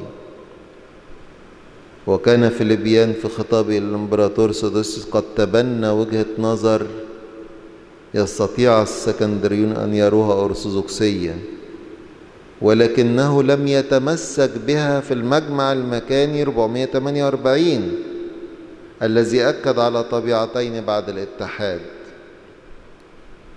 يعني هو هنا بيقول لك بيقول لك طب هو قدم للإمبراطور عبارة صح لكن لم يتمسك بهذا في المجمع اللي أدان فيه إيه؟ أوطاخي وهنا بدأت بقى الإيه؟ الأمور تاخد مسار آخر. وهنا حصل ممثل الإمبراطور على ما يريدونه. فتساءلوا إذا كان فليفيان أرثوذكسيا فلماذا تم حرمه؟ وبلا تفكير رد الأسقف أستاسيوس باضطراب لقد أخطأت ولم يضع ممثل الإمبراطور أي وقت بل طلبوا على الفور من الوفود الحاضرة أن يفيدوهم. إذا كان فلافيان أرثوذكسي أم لا؟ بدأوا يزنقوهم بقى. عندئذ أوضح مندوب روما وأناطوليوس أسقف القسطنطينية ومكسيموس أسقف أنطاكيا وثلاسيوس أسقف قيصرية ويوسابيوس أسقف أنقرة وأستاسيوس نفسه. أن وجهة نظرهم هي أن فلافيان كان أرثوذكسيا. وصاح الأساقفة الشرقيون أن الشهيد فلافيان كان متمسكا بالإيمان القويم. ولكن البابا ديسكورس طلب قراءة الجلسات لكي يرى المجمع أن فلافيان قد أصر على طبيعتين بعد الاتحاد. كما حاول البابا ديسكورس عبثا أن يوضح حقيقة الأمور ولكن لم تكن هناك أي استجابة. طب اقروا شوفوا هل استمر على رفضه للإيمان الأرثوذكسي وتأكيده على طبيعتين بعد الاتحاد؟ وبدأ البعض اللي كان متماسك إلى حد ما يخور في هذه الأثناء ابتدى يوبيناليوس أسقف أورشليم والذي كان حتى هذه اللحظة يقف بثبات في جانب البابا ديسكوروس يتذبذب في موقفه. وقد أخبر يوبيناليوس أو جوفينال أن كل من صيغة إعادة الوحدة وعبارة فلافيان التي أشار إليها أستاسيوس متشابهتان. ولكن الحقيقة أن كلتا الوثيقتين لم تحتوي على عبارة طبيعتين بعد الاتحاد. ما كانتش هي الوثيقة اللي استخدموها ديت مش موضوع المناقشة. لم تحتوي على عبارة طبيعتين بعد الاتحاد التي طلب من أوطاخي أن يقر بها في مجمع 448 وهكذا أخطأ يوبينال بنفس الطريقة التي تصرف بها أستاسيوس ومع ذلك فإن هذا الخلط في الأمور قد نقل يوبيناليوس ومساعديه إلى الجانب المنتصر وقد تم الترحيب بهم بعبارات مثل أن الله أرشدكم حسنا أهلا بكم انضموا للفريق الإيه؟ الآخر. أهلا بكم وبعد ذلك تبع المجموعة أسقف كورنثوس وعدد من الآخرين. وأمام هذا التقلص الواضح في مؤيديه تكلم البابا ديسكورس مفيدا أن فلافيان كان قد أدين بسبب قوله طبيعتين بعد الاتحاد وأن لديه أي البابا ديسكورس فقرات من كتابات الآباء القديسين أثناسيوس وغريغوريوس وكيرلس تحظر استخدام صيغة طبيعتين وتقنن فقط. صيغة طبيعة واحدة متجسدة لله الكلمة. وأضاف أن فلافيان قد تم إبعاده بواسطة الآباء. وأكمل البابا ديسكورس قائلا أنا أقف مع الآباء في تعليمهم ولن أتجاوزها في شيء. شوفوا البطولة بقى والصمود بتاع الآباء. ولكن في ظل جو المجمع المضطرب في تلك الأثناء لم تجد كلمات البابا ديسكورس أي صدى لها واستؤنفت قراءة المحاضر. وجاء في تلك المحاضرة عن لونجينس أسقف كيرسونيس أنه أصر في مجمع 448 على صيغة من طبيعتين من بعد الاتحاد. فأبدى البابا ديسكورس موافقته قائلا أنا أقبل من طبيعتين ولكني لا أقبل في طبيعتين أو طبيعتين. ومرة ثانية عندما قال يوليوس أسقف سيوس أنه لا ينبغي أن نتعدى إيمان نقيا وأفسس ولكننا يجب علينا جميعا أن نعترف بالابن الواحد ربنا يسوع المسيح بكونه طبيعتين في بروصوب واحد. أوضح البابا ديسكورس موقفه بأنه يرى أن يسوع المسيح ليس هو طبيعتين بعد الاتحاد. ويتبين من القصة السابقة أن البابا ديسكورس حاول أن يجعل موقفه واضحا فقد قاوم صيغة الطبيعة الطبيعتين بعد الاتحاد. ولكن لم يكن لديه اعتراض على صيغة من طبيعتين بعد الاتحاد. وهكذا فقد تمسك البابا ديسكوروس بالتقليد السكندري على أساس مجمعي نيقية وأفسس ساعيا وبلا أي حلول وسط أن يجعل المجمع يتجه إلى القضية الحقيقية. فإن للبابا ديسكورس كل الحق في التمسك بموقفه ولكن من المؤسف حقا أن مجمع خلقيدونيا لم يعر ما قاله البابا ديسكورس أي اهتمام على الإطلاق؟ إيه سيلرز يقول وتلا ذلك قراءة أعمال الجلسة الأولى للمجمع المكاني في القسطنطينية وحينما قرأت صيغة المصالحة الخاصة بكورولوس استقبلت بهتاف وصياح بالموافقة من كلا الجانبين. هذا ما نؤمن به جميعا. ثم تلا ذلك الاتهامات والاتهامات المضادة. وعندما بدأ أولئك الموجودون على اليسار يطالبون بطرد قاتل فلافيان يقصد القديس ديسكورس. في هذه المرحلة وجد ديسكورس نفسه في صعوبة بالغة. سأل المفوضون شوفوا الحاجة الغريبة بقى. إذا كان يؤمن ديسكورس مع كيرلس فلماذا قبل في الشركة معه رئيس المتوحدين الذي علم العكس؟ يعني بيتهم البابا ديسكورس إن هو يعني إيه؟ ضد كيرلس باعتبار إن صيغة المصالحة ديت ده كرولوس عملها وأنت ضدها يبقى أنت ضد كرولوس شوفوا التجني وال يعني نقول إيه الافتراء. إذا كان يؤمن ديسقورس مع كيرلس فلماذا قبل في الشركة معه رئيس المتوحدين الذي علم العكس؟ ولكن بتأكيدات كثيرة أعلن السكندري أن إيمانه هو المعتقد الأرثوذكسي وأنه لم يعلم أي مزج بين اللاهوت والناسوت في المسيح.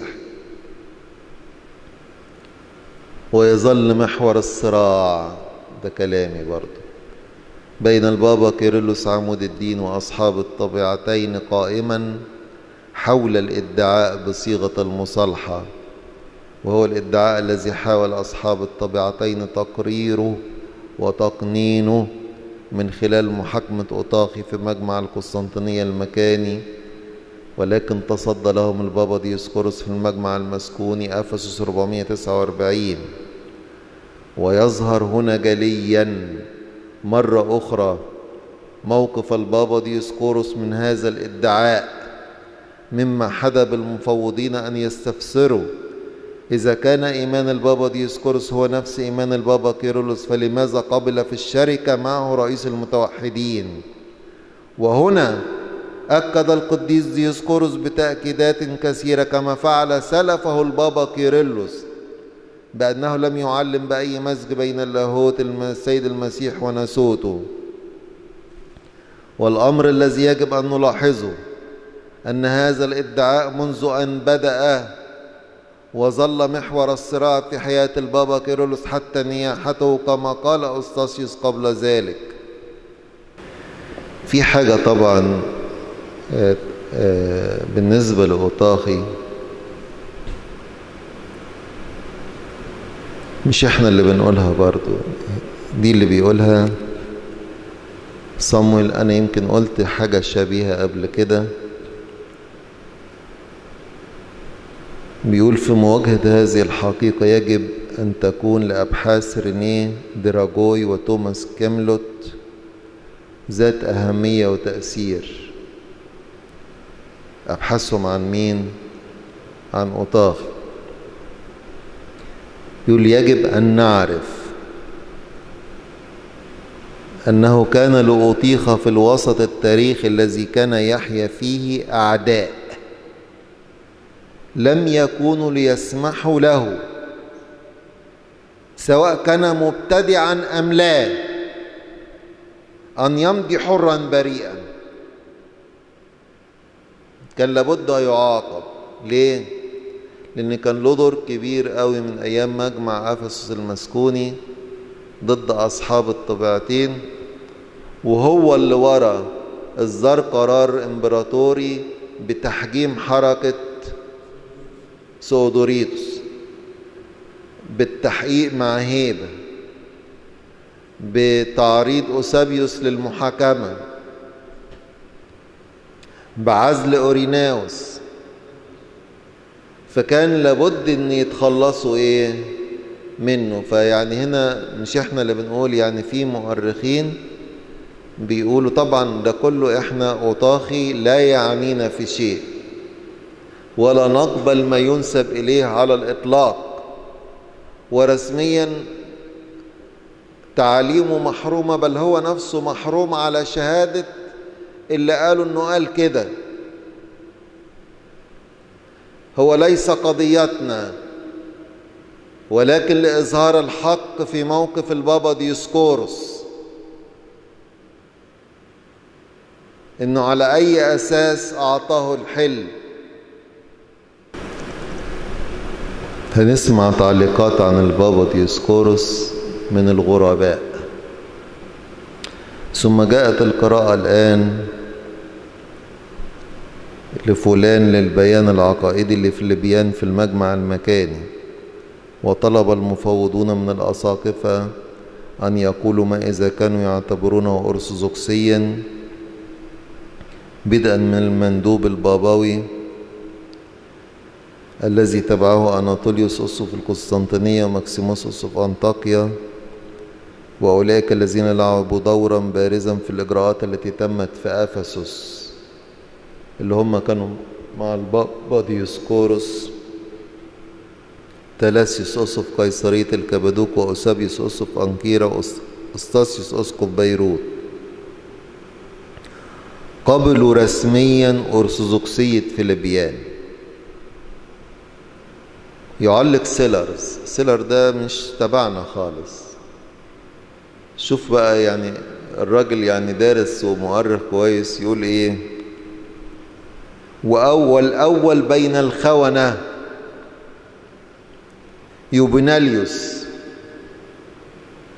الخونة للبابا ديسكورس ده مين اللي بيقول كده؟ سيلرز إلى الأول بين الخونة يوبناليوس الذي اعتبر أيضا أن أسقف القسطنطينية الراحل سليما في الإيمان وانتقل مع أساقفته الفلسطينيين إلى الجانب الآخر في مواجهة ديسكورس تبعه أساقفة الليريكوم ومع ذلك على الرغم من أن هذا المدافع عن الإيمان ضد النسطورية بقي تقريبا وحده.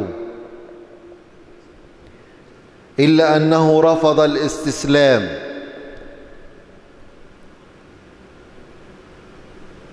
فلابيان كما قال قد عزل بحق لأنه تحدث عن طبيعتين بعد الاتحاد.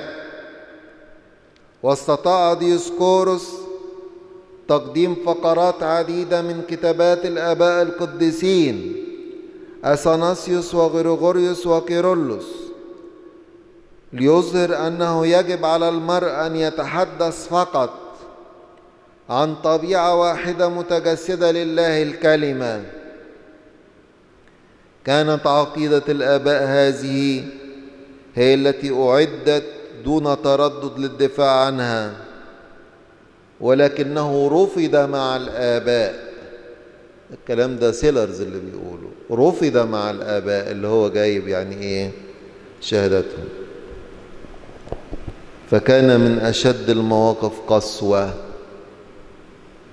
على البابا ديسكورس هو خيانة بعض المقربين إليه.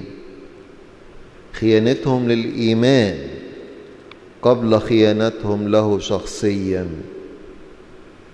لدرجة أن سيلرز عبر عن ذلك وقال والأول بين الخونة كان يوبيناليوس الذي اعتبر أيضا أن أسقف القسطنطينية الراحل سليما في الإيمان. وللأسف انتقل مع أساقفته الفلسطينيين إلى جانب الآخر في مواجهة البابا العظيم ديوسكوروس وتبعه آخرون. والجميل أن حتى خصوم الخصوم شهدوا لعظمة البابا ديوسكوروس فقد قال سيلرز على الرغم من أن هذا المدافع عن الإيمان ضد النسطورية بقي تقريبا وحده إلا أنه رفض الاستسلام وواجه المجمع بأن فلابيان قد عزل بحق لأنه تحدث عن طبيعتين بعد الاتحاد. واستطاع البابا ديسكوروس تقديم كتابات عديدة من كتابات أثناسيوس وغرغوريوس وكيرلس ليظهر أنه يجب على المرء أن يتحدث فقط عن طبيعة واحدة متجسدة لله الكلمة. كانت عقيدة الآباء هذه هي التي أعد دون تردد للدفاع عنها ولكنه كقول سيلرز قد رفض مع الآباء. ويسجل ميخائيل الكبير. رد فعل القديس ديسكورس على الاتهامات الموجهة ضده. وحينما رأى النية المبيتة لتغيير الإيمان وإدخال عقيدة الطبيعتين بعد الاتحاد فيقول وإذ سمع القديس ديسكورس هذه الأقوال الموجهة ضده. من قبل النصاطرة والتي يستشف منها استعدادهم لتغيير إيمان الآباء القديسين وإدخال عقيدة الطبيعتين بعد الاتحاد.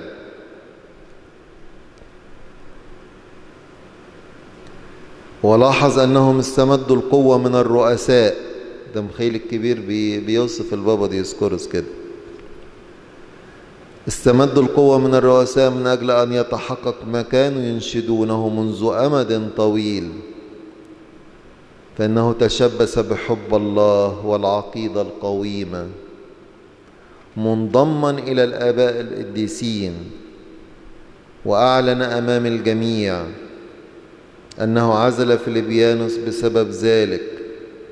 أي لأنه قلب الطبيعتين بعد الاتحاد. أما بالنسبة إلي فأقول ده على لسان البابا ديسكورس يعني هناك براهين عديدة في مواضع مختلفة من كتابات القديسين أثناسيوس وغريغوريوس وكيرلس القاضية بعدم القول بالطبيعتين بعد الاتحاد بل بطبيعة واحدة للكلمة المتجسد. لذا فإني أضم صوتي إلى صوت الآباء فأنا متمسك بتعاليم الآباء ولن أحيد عنه قيد شعرة وأن أقوالهم مدونة ثابتة وليس اعتباطية. لوحده في المجمع.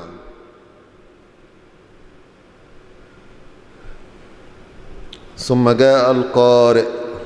إلى التعليقات على تصريح فلابيان التي أدلى بها الأساقفة في المجمع المكاني. وحينما رأى القديس ديسكورس أنه وقف وحده في الميدان فصرح قائلا إني مضطر أن أكون جسورا لأن الأمر يتعلق بخلاص نفسي. وأكد أنه بينما يقبل بتعبير من طبيعتين تأكيدا لعدم الامتزاج وأن الناسوت لم يتلاشى لكنه يرفض رفضا قاطعا. تعبير في طبيعتين لأن تعبير في طبيعتين يلغي الاتحاد من الأصل. يقول سيلرز بعد ذلك بقليل عندما جاء القارئ إلى التعليقات على تصريح فلابيان التي أدلى بها الأساقفة في المجمع المكاني أعلن ديسكورس أنه مضطر أن يكون جسورا لأنه كان يتحدث لأجل خلاص نفسه. أكد ذلك بينما يقبل تعبير من طبيعتين لكنه يرفض رفضا قاطعا تعبير في طبيعتين. تمت قراءة باقي أعمال مجمع المجمع في القسطنطينية دون انقطاع. ثم تبعتها قراءة محضر اللجنة التي وضعها الإمبراطور سؤدوسيوس ردا على إدعاء أوطاخي بأن هذه الأعمال قد تم تزويرها. شوفوا بقى العجب. قروا أعمال مجمع القسطنطينية بالكامل. من ضمن الأعمال محضر اللجنة اللي شكلها الإمبراطور سودوسيوس في التحقيق على ادعاء أوطاخي بأنه تم تزوير في أعمال المجمع. وللجنة أثبتت صحة هذا الادعاء وحقيقة التزوير الذي تم والذي بناء عليه دعا الإمبراطور سودوسيوس لعقد المجمع المسكوني في أفسس 449 والعجيب نجد هنا بعض الملاحظات وعلامات الاستفهام. فيروي الكاتب أنه تم قراءة أعمال مجمع القسطنطينية دون انقطاع ثم تبعتها قراءة محضر اللجنة التي وضعها الإمبراطور سودوسيوس ردا على ادعاء أوطاخي بأنه قد تم تزوير في أعمال المجمع. ورغم أن هذه اللجنة سبقا علمنا قد أثبتت التزوير بالفعل مما دفع الإمبراطور للدعوة لعقد مجمع المسكوني في هذا الأمر إلا أننا نجد في خلق دنيا صمتا رهيبا مريبا في هذا الأمر. كأني ما فيش حاجة اتقرت ولا حصلت. عادي. بعد ذلك رجع برضو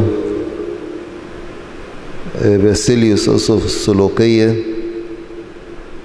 أنه بسبب تهديدات ديسكوروس قدم التماسا أنه قد يسمح له بتغيير البيان العقائدي.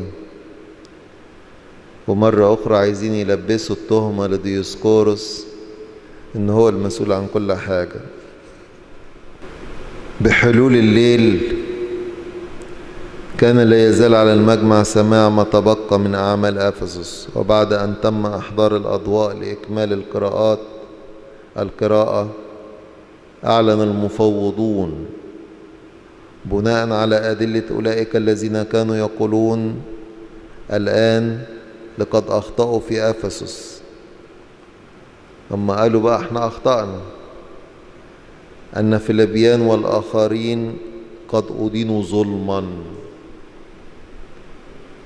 حكموا بقى لا يبقى كده فيلبيان واللي معه أدينوا إيه؟ ظلما وبدا أنه من الصواب أن رؤساء ذلك المجمع مجمع أفسس اللي هو ديوسكوروس وجوفينال وتلاسيوس وأوسابيوس أسقف أنقيرة وأوستاثيوس وباسيليوس يجب عزلهم بموافقة الإمبراطور. كلام ده السيلرز بيقول كانت مجرد جملة من مجلس الشيوخ العادل صرخ الشرقيون على الرغم من أن الإليريين طالبوا مرة أخرى بأن الجميع يعانون من المرض وطلبوا جميعا الغفران. طلبوا الإيه؟ العفو عن الجميع. وفي ختام الجلسة وعلى عكس ما خطط له لاون أن يكون العمل الرئيسي للمجمع قرر المفوضون أن مناقشة مسألة العقيدة الصحيحة يجب أن تتم في الاجتماع التالي وهذا ما يجب أن يكونوا مستعدين له. فقد تم توجيه الأساقفة أن يصوغ كل منهم كتابة بيان إيمانه الخاص به دون خوف من وضع الله أمامه أمام عينيه من وضع الله فقط أمام عيني ولمساعدتهم في مهمتهم إلى أن الإمبراطور أيد مراسيم نيقيا والقسطنطينية معا. إلى جانب كتابات القديسين غرغوريوس وباسيليوس وهيلاري وأمبروسيوس. ورسالتي كيرلس اللتين تمت الموافقة عليهما في المجمع السابق في أفسس. وتمت الإشارة أيضا إلى أن الأساقفة قاموا الآن بفحص الرسالة التي كتبها لاون إلى فلابيان صاحب الذكرى المقدسة ضد خطأ أوطاخي فقالوا قد قرأناها يعني قالوا هنناقش ما يخص الإيمان في الجلسة التالية وعلى الأساقفة أن كل واحد يكتب بيان إيمانه بس يخلي بالكم إن الإمبراطور بيأيد مراسيم نقيا والقسطنطينية مع كتابات بعض القديسين غرغوريوس وباسيليوس وهيلاري ورسالتي قيرلس اللي وافق عليهم مجمع أفسس. فبنعلق على كده بنقول إيه؟ كما تقدر الإشارة. إلى أن الإمبراطور قد أيد مراسيم نقيا والقسطنطينية معا وبعض الآباء القديسين ثم قفز متخطيا مجمع أفسس. ثم يقول ورسالتي قيرلس اللتين تمت الموافقة عليها, عليها في المجمع السابق في أفسس وهو هنا يقصد أولاً الرسالة الثانية لنصورة التي من ضمن الرسائل التي وافق عليها مجمع أفسس 431 ولكن هنا يختزلون كل كتابات كيرلس التي أقرها مجمع أفسس في هذه الرسالة فقط. ثانيا يقصد بالرسالة الثانية الرسالة الموجهة ليوحنا الأنطاكي والتي تحوي عرض إيمان الشرقيين الذي يدعون بأنه صيغة مصالحة 433 مع العلم بأن هذه الرسالة لم تكن من ضمن أعمال مجمع أفسس ولكنها كانت لاحقة ويستخدمونها دائما بحسب شروحاتهم وادعاءاتهم متجاهلين كل تعليقات وشروحات القديس كيرلس عليها. جم بقى بحضور القضاة طلبوا قراءة دفتر الأعمال وقالوا إن فلابيانوس وأوسابيوس انعزل من كرسيهما جورا وقد استوجب ذلك الحكم على ديوسكوروس أسقف الإسكندرية ويوبيناليوس أسقف أورشليم وتلاسيوس أسقف قيصرية الكبادوك وأوسابيوس أسقف أنقرة وأستاسيوس أسقف بيروت وباسيليوس أسقف صالح الذين استولوا على ذلك المجمع وأنهم ينحطوا عن كرسيهم بأمر هذا المجمع المقدس ويرفع الأمر إلى الملك. ده جه في مضمون المجمع الخلقدوني. قربنا نخلص؟ لا قربنا نخلص المحاضرة ديت. عشان بس مش باقي غير محاضرتين تاني. يعلق على الحدث دوت أو الحكم دوت. صمويل في كتاب إعادة فحص تمت قراءة كل محاضر جلسات مجمع 449 التي تخص تبرئة أوطاخي وإدانة فيليبيان وأوسابيوس على مجمع خلق دنيا وقبل أن ينتهي المجمع بل وحتى من قبل أن يبدأ المجمع. كان ممثل الإمبراطور قد توصلوا إلى قرارهم. أن فيليبيان وأوسابيوس قد أدين بلا مبرر وأن أوطاخي لم يكن يستحق التبرئة. وهنا أعطوا حكمهم الذين حددوا في من الذي ارتكب الجريمة في مجمع أفسس 449 وكان منطوق هذا الحكم هو ديوسكوروس والأسماء اللي قلناها كلها.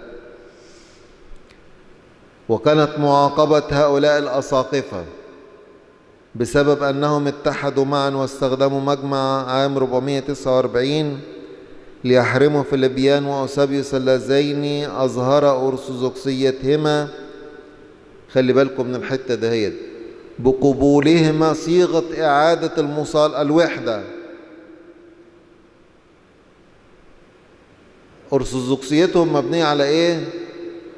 صيغة إعادة الوحدة وكذلك ليبرئوا أوطاخ الذي تعدى على الإيمان برفضه صيغة إعادة الوحدة. فاكرين لما اتكلمنا عن مجمع حكم أوطاخي قلنا إنه حكم عليه عشان رفضه للادعاء دوت؟ مش إحنا اللي بنقول كده بس. هنا برضو صمويل يؤكد هذا. ومع ذلك لم يذكر في الحقيقة توماس لاون ولا أشار مندوب روما إليه ورغم أنه بالنسبة لروما كانت هذه الرسالة العقائدية للبابا تمثل القياس المعياري للإيمان.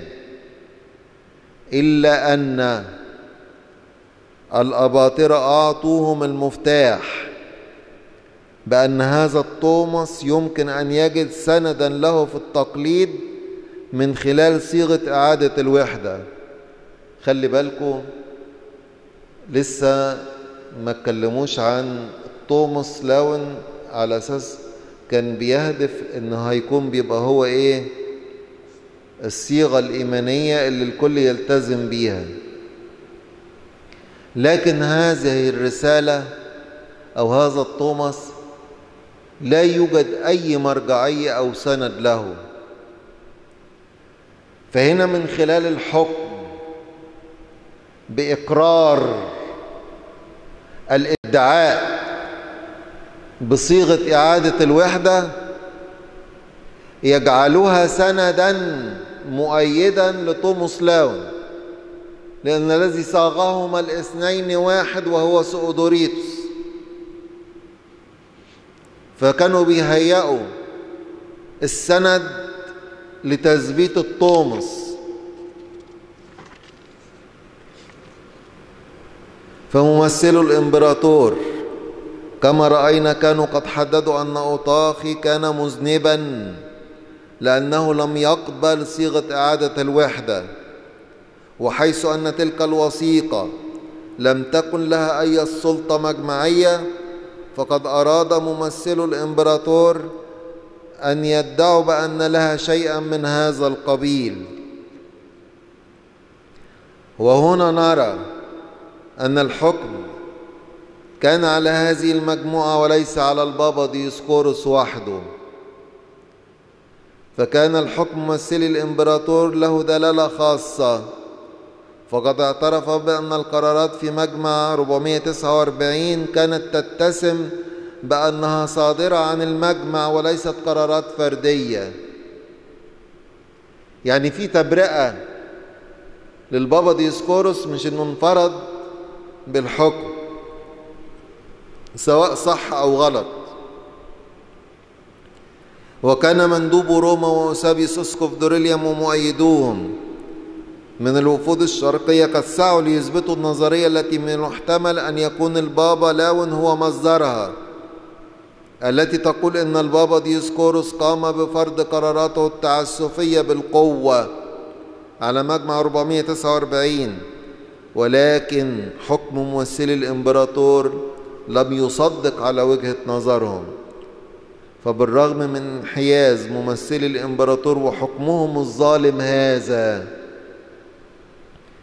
إلا أنه إقرارا بمسؤولية 449 عن قراراته وفيه تبرئة ضمنية للبابا ديسكورس من اتهامه بفرض قراراته التعسفية بالقوة على المجمع وبمجرد أن أعلن ممثلو الإمبراطور حكمهم حتى استقبله الفريق الشرقي الذي على الجانب الأيسر بهتافات الاستحسان وصاحوا فيه قائلين هذا حكم صائب غير أن أساقفة الليريكوم والرجال الذين على الجانب الأيمن التمسوا من أجل الرحمة قائلين قد أخطأنا جميعا وكلنا نحتاج الصفح. ومع ذلك داوم الفريق الشرقي على صياح بأنه لا رحمة لديسكورس وقبل أن تصل الجلسة الأولى إلى نهايتها طلب ممثل الإمبراطور من كل واحد من الحاضرين أن يأتي إلى الجلسة القادمة ومعه بيان مكتوب عن الإيمان مع الوضع في الاعتبار أن إيمان الإمبراطور يتفق مع قانون 318 بنقية وما أقره المية وخمسين بالقسطنطينية وأيضا تعليم باسيليوس وهيلاري وأثناسيوس وأمبروسيوس ومع رسالتي كيرلس القانونيتين اللتين قدمتا وقبلتا في مجمع أفسس الأول وكذلك توموس لاون. ومن الواضح من هذه العبارة أن ممثلي الإمبراطور كانوا يشيرون إلى موقف الأباطرة فيما يخص الإيمان ويطلبون بمكر من الأساقفة أن يكونوا متفقين إيه مع ذلك. ونلاحظ هنا الآتي المكانة الضعيفة التي أعطيت لمجمع أفسس 431 والقديس كورولوس الذي من بين كتاباته الغزيرة. أعلن فقط عن رسالتين يقبلهما الأباطرة. اثنين وصف هاتين الرسالتين بالقانونتين ينطبق على الرسالة الثانية والثالثة ضد نسطور وهي التي تحوي الحروم الموجهة الحروم الاثني عشر. وهذه الرسالة الثالثة دي معلش اللي يتقال عليها قانونية بتاعة البنود الاثناشر وهذه الرسالة الثالثة أهملت تماما في خلق دنيا. ولكن الرسالة التي تم قراءتها بالفعل هي الموجهة إلى يوحنا الأنطاكي الخاصة بإعادة الوحدة عام 433 ومن ثم فمن المستحيل أن تكون قد قبلت في مجمع أفسس حسب وصف ممثل الإمبراطور للرسالتين. ثلاثة حيث كان لون حريصا على أن يتبنى المجمع الطمس الخاص به ويعتبره مقياسه العقائدي فكذلك أيضا حاول الأباطرة أن يكون لهذا الطومس سندا في التقليد من خلال تأييدهم لوجهة النظر الأنطاقية الخاص بإدعاء بالإدعاء بصيغة إعادة الوحدة 433 دي بيمهدوهم لما سيفحصونه بعد ذلك. ونكتفي بهذا القدر. نكمل المرة الجاية إن شاء الله.